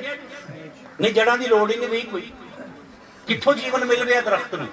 ਜੜਾਂ ਤੋਂ ਜੀਵਨ ਮਿਲ ਕੌਣ ਹੈ ਸਾਡੀ ਜੜਾਂ ਇਬਰਾਹਾਮ ਇਸਾਕ ਯਕੂਬ ਏਲੀਆ ਮੂਸਾ ezekiel ਦਾਨੀਏਲ ਜਰਮਾਇਆ ਜਸ਼ਾਇਆ ਉਬਦਾਇਆ ਜੋਨਾ ਮਾਈਕਾ ਨਹੂਮ ਹਬਕੁਕ ਮਲਾਕੀ ਇਹ ਸਾਡੇ ਕੌਣ ਨੇ ਇਹ ਪਿਓ ਨੇ ਸਾਡੇ ਸੁਣ ਰਹੇ ਜੇ ਇਹ ਨਬੀਆਂ ਦੇ ਬਾਰੇ ਨਾ ਝੂਠੇ ਨਬੀਆਂ ਨੂੰ ਕੁਝ ਵੀ ਜੇ ਪਤਾ ਤੇ ਬਣੇ ਫਿਰਦੇ ਜੇ ਨਬੀ ਇਹ ਨਹੀਂ ਪਤਾ ਕੌਣ ਸੀ ਉਬਦਾਇਆ ਕੌਣ ਸੀ ਜੋਨਾ ਕੌਣ ਸੀ ਮਾਈਕਾ ਕੌਣ ਸੀ ਨਹੂਮ ਕੌਣ ਸੀ ਸਫਨਿਆ ਕੀ ਭਵਿਸ਼ਵਾਣੀ ਕੀਤੀ ਉਹਨੇ ਕਿਹੜੇ ਕਾਲ 'ਚ ਭਵਿਸ਼ਵਾਣੀ ਕੀਤੀ ਕਿਹੜੀ ਕਿਹੜੀ ਭਵਿਸ਼ਵਾਣੀ ਪੂਰੀ ਹੋਈ ਤੇ ਕਿਹੜੀ ਨਹੀਂ ਹੋਈ ਕੌਣ ਸਨ ਉਹਨੇ ਭਵਿਸ਼ਵਾਣੀਆਂ ਦੇ ਪਾਤਰ ਕੁਝ ਵੀ ਜੇ ਪਤਾ ਬਸ ਖੜੀ ਹੋ ਜਾ ਖੱਟੇ ਸੂਟ ਵਾਲੀ ਭੈਣ ਤੇਰਾ ਲੱਕ ਦੁਖਦਾ ਆ ਰਹਾ ਹੂੰ ਆ ਰਹਾ ਹੂੰ ਤੇਰੇ ਘਰ में काले रंग का गेट है फलाना है ढिमका है ਇਹ ਲਿਖਿਆ ਜੀ, ਕੀ ਲਿਖਿਆ ਜੀ? ਪੜ ਲੈਣਾ ਯਹੋਸ਼ੂ 13 ਦੀ 22 ਘਰ ਜਾ ਕੇ ਪੜਨਾ ਉੱਥੇ ਲਿਖਿਆ ਹੈ, ਤਦ ਇਸرائیਲੀਆਂ ਨੇ ਫਾਲ ਪਾਣ ਵਾਲੇ ਬਿਲਾਮ ਨਬੀ ਨੂੰ ਵੱਢ ਸੁੱਟਿਆ। ਕਿਹਨੂੰ ਵੱਢਿਆ? ਬਿਲਾਮ ਨੂੰ ਯਹੋਸ਼ੂ 13 ਦੀ 22 ਘਰ ਪੜਿਓ ਤੇ ਕੀ ਲਿਖਿਆ ਉਹਦੇ ਬਾਰੇ? ਫਾਲ ਪਾਉਂਦਾ ਸੀ। ਯਹੋਵਾ ਦਾ ਸੱਚਾ ਨਬੀ, ਇਹ ਜ਼ਰੂਰ ਹੈ ਕਿ ਯਹੋਵਾ ਦੇ ਨਾਲ ਗੱਲਬਾਤ ਕਰਦਾ ਸੀ। ਪਰ ਉਹ ਯਹੋਵਾ ਦੀ ਰਾਹਾਂ ਤੇ ਚੱਲਦਾ, ਅੱਜ ਵੀ ਇਦਾਂ ਦੇ ਬੜੇ ਠੱਗਵਾਜ ਨਬੀ ਨੇ। ਜਿਨ੍ਹਾਂ ਦੇ ਅੰਦਰ ਯਹੋਵਾ ਦਾ ਰੂਹ ਨਹੀਂ ਹੈ। ਕਿਹਦਾ ਰੂਹ ਹੈ ਸੱਪ ਦੇ ਤੇਲ ਨੇ ਮਸਾ ਕੀਤਾ ਜੀ ਉਹਨਾਂ ਨੂੰ। ਜਿਹੜੇ ਲੋਕਾਂ ਨੂੰ ਠੱਗ ਰਹੇ ਨੇ ਤੇ ਨਰਕ ਭੇਜ ਰਹੇ ਨੇ ਲੋਕਾਂ ਨੂੰ। ਪ੍ਰਭੂ ਯਿਸੂ ਮਸੀਹ ਕੀ ਕਰਦਾ ਹੈ ਪ੍ਰਭੂ ਯਿਸੂ ਮਸੀਹ ਇੱਥੇ ਕਹਿੰਦਾ ਜੀ think not that I am come to destroy the law or the prophet. I am come to, I am I am not come to destroy but to ਮੈਂ ਪੂਰਾ ਕਰਨ ਲਈ ਆਇਆ। ਜਿਹੜਾ ਅਸਲੀ ਸ਼ਬਦ ਹੈ ਗ੍ਰੀਕ ਸ਼ਬਦ ਹੈ ਪਲੇਰੋ, ਜਿਹਦਾ ਅਸਲੀ ਮਤਲਬ ਹੈ ਮੈਂ ਪਰਮੇਸ਼ਵਰ ਦੇ ਕਲਾਮ ਨੂੰ, ਨਬੀਆਂ ਦੀ ਲਿਖਤਾਂ ਨੂੰ ਤੇ ਮੂਸਾ ਦੀ ਵਿਵਸਥਾ ਨੂੰ ਉਹਦੇ ਜੋਵਨ ਤੱਕ ਪਹੁੰਚਾਉਣ ਲਈ ਆਇਆ ਹਾਲੇਲੂਇਆ। ਉਹਦਾ ਨਾਸ਼ ਕਰਨ ਦੇ ਲਈ ਨਹੀਂ ਆਇਆ। ਹਾਲੇਲੂਇਆ। ਹਾਲੇਲੂਇਆ। ਹੁਣ ਮੈਂ ਤੁਹਾਨੂੰ ਕੁਝ ਖਾਸ ਗੱਲਾਂ ਦੱਸਣੀਆਂ ਨੇ, ਬੜੇ ਧਿਆਨ ਨਾਲ ਤੁਸੀਂ ਸੁਣਨੀਆਂ ਜੀ ਪ੍ਰਭੂ ਯਿਸੂ ਮਸੀਹ ਕੀ ਕਹਿ ਰਿਹਾ ਆਪਣੇ ਪਹਿਲੇ ਉਪਦੇਸ਼ ਦੇ ਵਿੱਚ? ਪ੍ਰਭੂ ਯਿਸੂ ਮਸੀਹ ਪਹਿਲਾਂ ਉਸ ਭੀੜ ਦੇ ਨਾਲ ਗੱਲਾਂ ਕਰਦਾ ਹੈ, ਜਿਹੜੀ ਪਰਮੇਸ਼ਰ ਦੀ ਭੁੱਖੀ ਤੇ ਧਿਆਈ ਹੈ। ਫਿਰ ਯਿਸੂ ਮਸੀਹ ਆਪਣਾ ਪੈਗਾਮ ਭੇਜ ਰਿਹਾ ਜੀ, ਜਿਹੜੇ ਧਰਮ ਦੇ ਠੇਕੇਦਾਰ ਯਰੂਸ਼ਲਮ 'ਚ ਬੈਠੇ ਫਰੀਸੀ, ਸਦੂਕੀ, ਕਾਹਨ, ਯਾਜਕ, ਲੇਵੀ, ਅਲੱਗ-ਅਲੱਗ 28 ਅਲੱਗ-ਅਲੱਗ ਤਬਕੇ ਨੇ, ਜਿਨ੍ਹਾਂ ਨੂੰ ਯਿਸੂ ਮਸੀਹ ਇੱਥੋਂ ਆਪਣਾ ਪੈਗਾਮ, ਯਿਸੂ ਮਸੀਹ ਉੱਤਰੀ ਹਿੱਸੇ ਦੇ ਵਿੱਚ ਜੇ। ਉੱਤਰੀ ਨਾਰਦਰਨ ਹਿੱਸੇ 'ਚ ਜੇ ਤੇ ਸਾਊਥ ਦੇ ਦੱਖਣੀ ਹਿੱਸੇ ਦੇ ਵਿੱਚ ਯਹੋਵਾ ਦੀ ਟੈਂਪਲ ਹੈ ਜਿੱਥੇ ਉਹਨਾਂ ਨੇ ਯਹੋਵਾ ਦੇ ਨਾਮ ਤੇ ਕਾਰੋਬਾਰ ਬਣਾਇਆ। ਯਿਸੂ ਮਸੀਹ ਉਹਨਾਂ ਨੂੰ ਆਪਣਾ ਪੈਗਾਮ ਦੇ ਰਿਹਾ ਹੈ ਤੇ ਕੀ ਕਹਿ ਰਿਹਾ ਪ੍ਰਭੂ ਯਿਸੂ ਮਸੀਹ? ਮੈਂ ਚਾਹਨਾ ਤੁਸੀਂ ਕੁਝ ਵਚਨ ਪੜੋ ਇਹਦੇ ਚੋਂ। ਸਭ ਤੋਂ ਪਹਿਲਾਂ ਤੁਸੀਂ ਪੜੋ ਇਹਦਾ 27 ਵਚਨ 5 ਦਾ 27 ਹੁਣ ਗੌਰ ਨਾਲ ਸੁਣਿਓ ਜੋ ਵਚਨ ਤੁਹਾਨੂੰ ਦੱਸਣ ਜਾ ਰਿਹਾ। ਤੁਸਾਂ ਸੁਣਿਆ ਹੈ? ਤੁਸਾਂ ਸੁਣਿਆ ਹੈ। ਕੀ ਕੀਤਾ ਹੈ? ਸੁਣਿਆ। ਕੀ ਕੀਤਾ ਹੈ? ਯਿਸੂ ਮਸੀਹ ਇਹ ਨਹੀਂ ਕਹਿ ਰਿਹਾ ਕਿ ਤੁਸੀਂ ਪੜਿਆ ਹੈ। ਕੀ ਕਹਿ ਰਿਹਾ ਹੈ? ਸੁਣਿਆ। ਬਾਈਬਲ 'ਚ 9 ਵਾਰੀ ਯਿਸੂ ਮਸੀਹ ਕਹਿ ਰਿਹਾ ਤੁਸੀਂ ਸੁਣਿਆ ਹੈ। ਤੁਸੀਂ? ਇਹ ਜਿਹੜਾ ਸੁਣਿਆ ਹੈ ਯਿਸੂ ਮਸੀਹ ਕਹਿ ਰਿਹਾ ਜੇ ਇਹ ਕਿਉਂ ਕਹਿ ਰਿਹਾ ਕਿ ਤੁਸੀਂ ਸੁਣਿਆ ਹੈ? ਪਤਾ ਤੁਹਾਡੇ ਚੋਂ ਕਿਸੇ ਨੂੰ? ਯਿਸੂ ਮਸੀਹ ਇਹ ਨਹੀਂ ਕਹਿ ਰਿਹਾ ਕਿ ਤੁਸੀਂ ਪੜਿਆ ਹੈ। ਯਿਸੂ ਮਸੀਹ ਕਹਿੰਦਾ ਤੁਸੀਂ? ਕਿਉਂਕਿ ਯਹੂਦੀ ਲੋਕ ਜਿਹੜੇ ਸਨ ਉਹ ਇਹ ਮੰਨਦੇ ਸਨ ਕਿ ਇੱਕ ਕਲਾਮ ਤੇ ਯਹੋਵਾ ਨੇ ਮੂਸਾ ਕੋਲੋਂ ਲਿਖਵਾਇਆ। ਤੇ ਇੱਕ ਕਲਾਮ ਦਾ ਹਿੱਸਾ ਔਰਲੀ ਦਿੱਤਾ ਯਹੋਵਾ ਨੇ ਮੂੰਹ ਜਵਾਨੀ ਔਰਲ ਲਾਅ ਉਹਨੂੰ ਕਹਿੰਦੇ ਨੇ। ਇੱਕ ਇਹੋ ਜੀ ਵਿਵਸਥਾ ਯਹੋਵਾ ਨੇ ਇਸਰਾਇਲ ਨੂੰ ਦਿੱਤੀ, ਜਿਹੜੀ ਲਿਖੀ ਨਹੀਂ ਜਾ ਸਕਦੀ, ਬਲਕਿ ਮੂੰਹ ਜਵਾਨੀ ਜਿੱਦਾਂ ਮੈਂ ਰੱਬੀ ਆ ਤੇ ਮੈਂ ਅੱਗੇ ਇਹ ਅੱਗੇ ਰੱਬੀ ਬਣਨਾ ਇਹਨੂੰ ਦੇ ਰਿਹਾ ਜੇ। ਇਹਨੇ ਅੱਗੇ ਉਹਨਾਂ ਨੇ ਰੱਬੀ ਬਣਨਾ ਉਹਨਾਂ ਨੂੰ ਦੇ ਰਹੇ ਜੇ। ਇਹ ਰੱਬੀਆਂ ਦੇ ਕੋਲ ਹੀ ਰਹਿੰਦੀ ਜਿੱਤਦੀ ਸਧਾਰਨ ਬੰਦੇ ਤੱਕ ਇਹਨੂੰ ਕਿਹਾ ਜਾਂਦਾ ਔਰਲ ਲਾਅ ਕੀ ਕਿਹਾ ਜਾਂਦਾ ਹੈ? ਇਸਰਾਇਲ ਦਾ ਪਤਨ ਕਿੱਦਾਂ ਹੋਇਆ? ਪ੍ਰਭੂ ਨੇ ਕਿਹਾ, ਮੈਂ ਤਲਵਾਰ ਘੱਲਾਂਗਾ, ਮੈਂ ਕੀ ਘੱਲਾਂਗਾ? ਅਕਾਲ ਘੱਲਾਂਗਾ, ਮੈਂ ਕੀ ਘੱਲਾਂਗਾ? ਮਰੀ ਘੱਲਾਂਗਾ। ਤੇ ਜੇ ਤੁਸੀਂ ਫਿਰ ਵੀ ਬਾਜ ਨਹੀਂ ਆਏ, ਤੇ ਮੈਂ ਬੀਸਟ ਘੱਲਾਂਗਾ ਜੰਤੂ। ਬੀਸਟ ਸਮਝਦੇ ਜੇ ਕੀ ਜੇ? ਬਾਈਬਲ ਭਰੀ ਪਈ ਜੇ ਜੰਤੂਆਂ ਦੇ ਨਾਲ। ਸੱਤ ਸਿੰਘ ਵਾਲਾ 10 ਸਿੰਘ ਵਾਲਾ ਚੀਤਾ ਹੈ, ਭਾਲੂ ਹੈ ਅੱਡਾ ਰਿਛ ਹੈ, ਬੜੇ ਇਸ ਤਰ੍ਹਾਂ ਦੇ ਜੰਤੂ। ਜਿੰਨੇ ਖੁਦਾ ਦੇ ਨਬੀ ਹੈ, ਇਸ ਤਰ੍ਹਾਂ ਦੇ ਬੜੇ ਅਜੀਬ ਦਰਸ਼ਨ ਦੇਖਦੇ ਹੈ। ਇਜ਼ੀਕੀਲ ਹੋਏ ਦਾਨੀਅਲ ਹੋਏ, ਜ਼ਕਰੀਆ ਹੋਏ ਇਹ ਸਾਰੇ ਨਬੀ ਦਰਸ਼ਨ ਦੇਖ ਰਹੇ ਜਾਂ ਯਹੋਨਾ ਜਿਹਨੇ ਪ੍ਰਕਾਸ਼ ਦੀ ਪੋਥੀ ਲਿਖੀ, ਉਹ ਹੋਏ। ਇਹ ਕੌਣ ਨੇ? ਬੀਸ ਤੇ ਜੰਤੂ ਕੌਣ ਨੇ? ਇਹ ਜੰਤੂ ਨੇ, ਇਹ ਦੁਨੀਆ ਦੀਆਂ ਸਰਕਾਰਾਂ। ਇਹ ਦੁਨੀਆ ਦੇ ਉੱਤੇ ਜਿਹੜੀ ਬਾਦਸ਼ਾਹੀਆਂ ਰਾਜ ਕਰਦੀਆਂ। ਇਹ ਦੁਨੀਆ ਦੇ ਅੰਦਰ ਜਿਹੜਾ ਸਿਸਟਮ ਹੈ ਕਿਹੜਾ ਸਿਸਟਮ ਸਿਆਸੀ ਸਿਸਟਮ ਪੋਲੀਟੀਕਲ ਸਿਸਟਮ ਤੇ ਜਿਹੜਾ ਦੁਨੀਆ ਦੇ ਅੰਦਰ ਧਰਮ, ਮਜ਼ਹਬ ਦਾ ਸਿਸਟਮ ਤੇ ਦੁਨੀਆ ਦੇ ਅੰਦਰ ਫਾਈਨੈਂਸ਼ੀਅਲ ਸਿਸਟਮ ਦੁਨੀਆ ਦਾ ਐਜੂਕੇਸ਼ਨ ਸਿਸਟਮ ਦੁਨੀਆ ਦੇ ਅੰਦਰ ਕਈ ਸੱਤ ਸੱਤ ਪਾਇਦਾਨ ਨੇ ਇਸ ਦੁਨੀਆ ਦੇ, ਸੱਤ ਪਾਇਦਾਨ ਸੱਤਾਂ ਪਾਇਦਾਨਾਂ ਦੇ ਉੱਤੇ ਸ਼ੈਤਾਨ ਖੜਾ ਹੈ। ਇਹ ਦੁਨੀਆ ਦਾ ਜਿਹੜਾ ਨਿਜ਼ਾਮ ਹੈ ਇਹ ਨਿਜ਼ਾਮ ਬੀਸਟ ਦੀ ਤਰ੍ਹਾਂ ਹੈ ਕੀ ਦੇਖਦਾ ਜੇ ਦਾਨੀਅਲ? ਕਿ ਸਿੰਘ? ਆ ਦੇਖਦਾ ਜੇ ਸਿਰ ਸੋਨੇ ਦਾ ਹੈ ਫਿਰ ਬਾਕੀ ਹਿੱਸਾ ਕੀ ਹੈ ਚਾਂਦੀ ਦਾ। ਬਾਕੀ ਪਿੱਤਲ ਦਾ। ਫਿਰ ਲੋਹੇ ਦਾ ਤੇ ਪੈਰ ਲੋਹੇ ਤੇ ਮਿੱਟੀ ਦੇ। ਉਹ ਬਾਦਸ਼ਾਹੀਆਂ ਨੇ ਜਿਹੜਾ ਯਹੋਵਾ ਨੂੰ ਦਿਖਾਉਂਦਾ ਹੈ। ਪਹਿਲੀ ਬਾਬੂ ਦੇ ਰਾਜਾ ਨਬੂਕਦਨਸਰ ਦੀ ਫਿਰ ਉਹਦੇ ਬਾਅਦ ਮੀਡਸ ਐਂਡ ਪਰਸ਼ਨ ਦੀ ਫਿਰ ਉਹਦੇ ਬਾਅਦ ਅਲੈਗਜ਼ੈਂਡਰ ਸਿਕੰਦਰ ਮਹਾਨ ਦੀ ਫਿਰ ਉਹਦੇ ਬਾਅਦ ਰੋਮੀਆਂ ਦੀ ਫਿਰ ਹੁਣ ਜਿਹੜੀ ਆਖਰੀ ਆਣੀ ਹੈ ਬਾਦਸ਼ਾਹੀ। ਆਖਰੀ ਬਾਦਸ਼ਾਹੀ ਆਣੀ ਹੈ ਉਹ ਜੇ ਲੋਹੇ ਦੇ ਵਿੱਚ ਕੀ ਮਿਲਿਆ ਜੇ? ਮਿੱਟੀ ਮਿਲੀ ਜੇ। ਕੀ ਮਤਲਬ ਜੇ ਇਹਦਾ? ਇਹ ਮਿਕਸ ਜੇ ਕੰਮ। ਮਿਕਸ ਬੀਜ ਇਹ ਚੱਲ ਰਿਹਾ ਜੇ ਚਰਚ ਦੇ ਅੰਦਰ। ਅਸਲੀ ਨਹੀਂ ਜੇ ਬੀਜ, ਕੀ ਜੇ?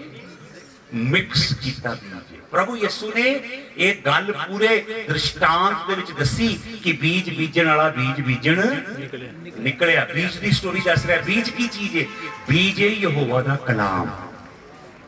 ਇੱਕ ਪਤੀ ਆਪਣੀ ਤੀਵੀ ਨੂੰ ਗਰਭਣੀ ਕਰਦਾ ਆਪਣੇ ਬੀਜ ਦੇ ਦੁਆਰਾ।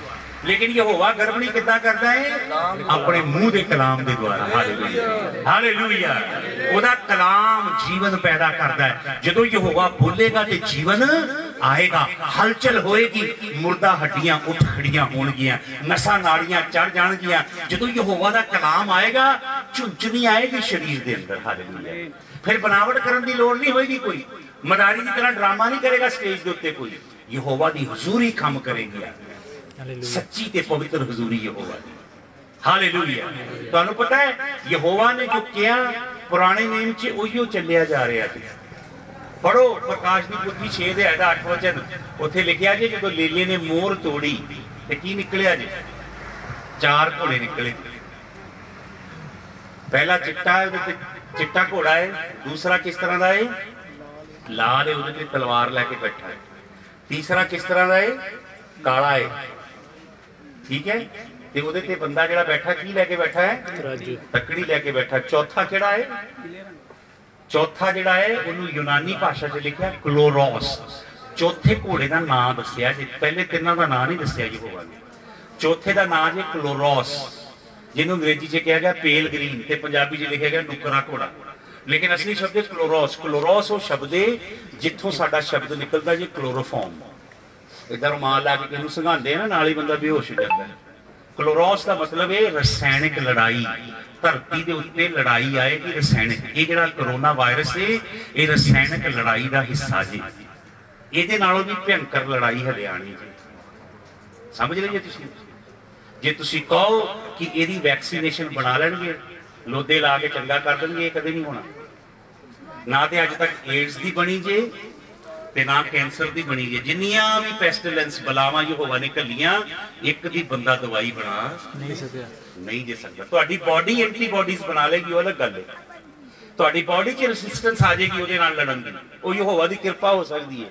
ਪਰ ਜਿਹੜੀ ਸਜ਼ਾ ਯਹੋਵਾ ਘੱਲੇਗਾ, ਉਹਦਾ ਤੋੜ ਧਰਤੀ ਦੇ ਲੋਕਾਂ ਦੇ ਕੋਲ, ਵਿਗਿਆਨਿਕਾਂ ਦੇ ਕੋਲ, ਵੀਰੋਲੋਜਿਸਟਾਂ ਦੇ ਕੋਲ ਐਪੀਡੈਮੀਲੋਜਿਸਟਾਂ ਦੇ ਕੋਲ ਨਹੀਂ ਜੇ ਉਹਦਾ ਤੋੜ, ਹਾਲੇਲੂਇਆ।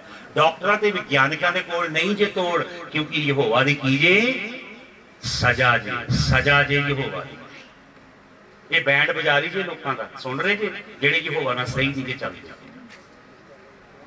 ਇਹ ਸਵਰਗ ਤੋਂ ਆਈ ਜੇ ਯਹੋਵਾ ਦੀ ਸਜ਼ਾ ਜੀ ਤੇ ਕੀ ਕਹਿੰਦਾ ਪ੍ਰਭੂ?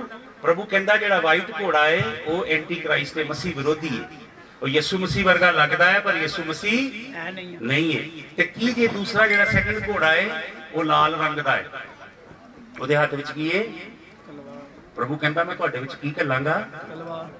ਤਲਵਾਰ ਘੱਲਾਂਗਾ। ਦੂਸਰਾ ਕੀ ਹੈ ਤੱਕੜੀ ਹੈ ਅਕਾਲ ਪੈ ਗਿਆ, ਅਕਾਲ। ਚੀਜ਼ਾਂ ਬਹੁਤ ਮਹਿੰਗੀਆਂ ਹੋ ਗਈਆਂ। ਇਸੇ ਲਈ ਇਹ ਕਿਸਾਨਾਂ ਦਾ ਪ੍ਰੋਗਰਾਮ ਚੱਲ ਰਿਹਾ ਜੀ।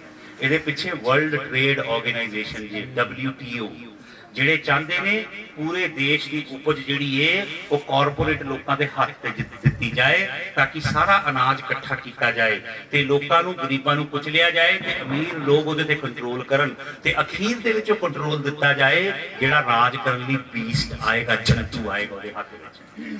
ਪੂਰੀ ਦੁਨੀਆ ਦੇ ਉੱਤੇ ਕਬਜ਼ਾਗਿਰੀ ਸ਼ੁਰੂ ਹੋ ਚੁੱਕੀ ਜੇ, ਪੂਰੀ ਦੁਨੀਆ ਦੀਆਂ ਸਰਕਾਰਾਂ ਡਿਕਟੇਟਰਸ਼ਿਪ ਬਣ ਰਹੀਆਂ ਜੇ, ਇਹ ਸੁਖ ਬੁਗਾਹਟ ਹੈ ਪ੍ਰਭੂ ਯਿਸੂ ਮਸੀਹ ਦੇ ਕਲਾਮ ਦੀ, ਜਿਹੜਾ ਉਹਨੇ ਪਹਾੜੀ ਦੇ ਉੱਤੇ ਜਿਹੜਾ 올ਿਵਰ ਡਿਸਕੋਰਸ ਦਿੱਤਾ ਜੈਤੂਨ ਦੇ ਪਹਾੜ ਦੇ ਉੱਤੇ ਮੱਤੀ 24 ਅਧਿਆਏ ਦੇ ਵਿੱਚ ਜਿਹੜੀਆਂ ਗੱਲਾਂ ਉਹਨੇ ਦੱਸੀਆਂ ਉਹ ਸਾਡੀਆਂ ਅੱਖਾਂ ਦੇ ਮੂਹਰੇ ਪੂਰੀਆਂ ਹੋ ਰਹੀਆਂ। ਪਰ ਅਫਸੋਸ ਦੀ ਗੱਲ ਇਹ ਹੈ ਕਿ ਚਰਚ ਸੁੱਤੀ ਹੈ ਕਲੀਸਿਆ ਦੇ ਅੰਦਰ ਅੰਤ ਦੇ ਸਮਿਆਂ ਦਾ ਕੋਈ ਵੀ ਗਿਆਨ ਨਹੀਂ ਹੈ।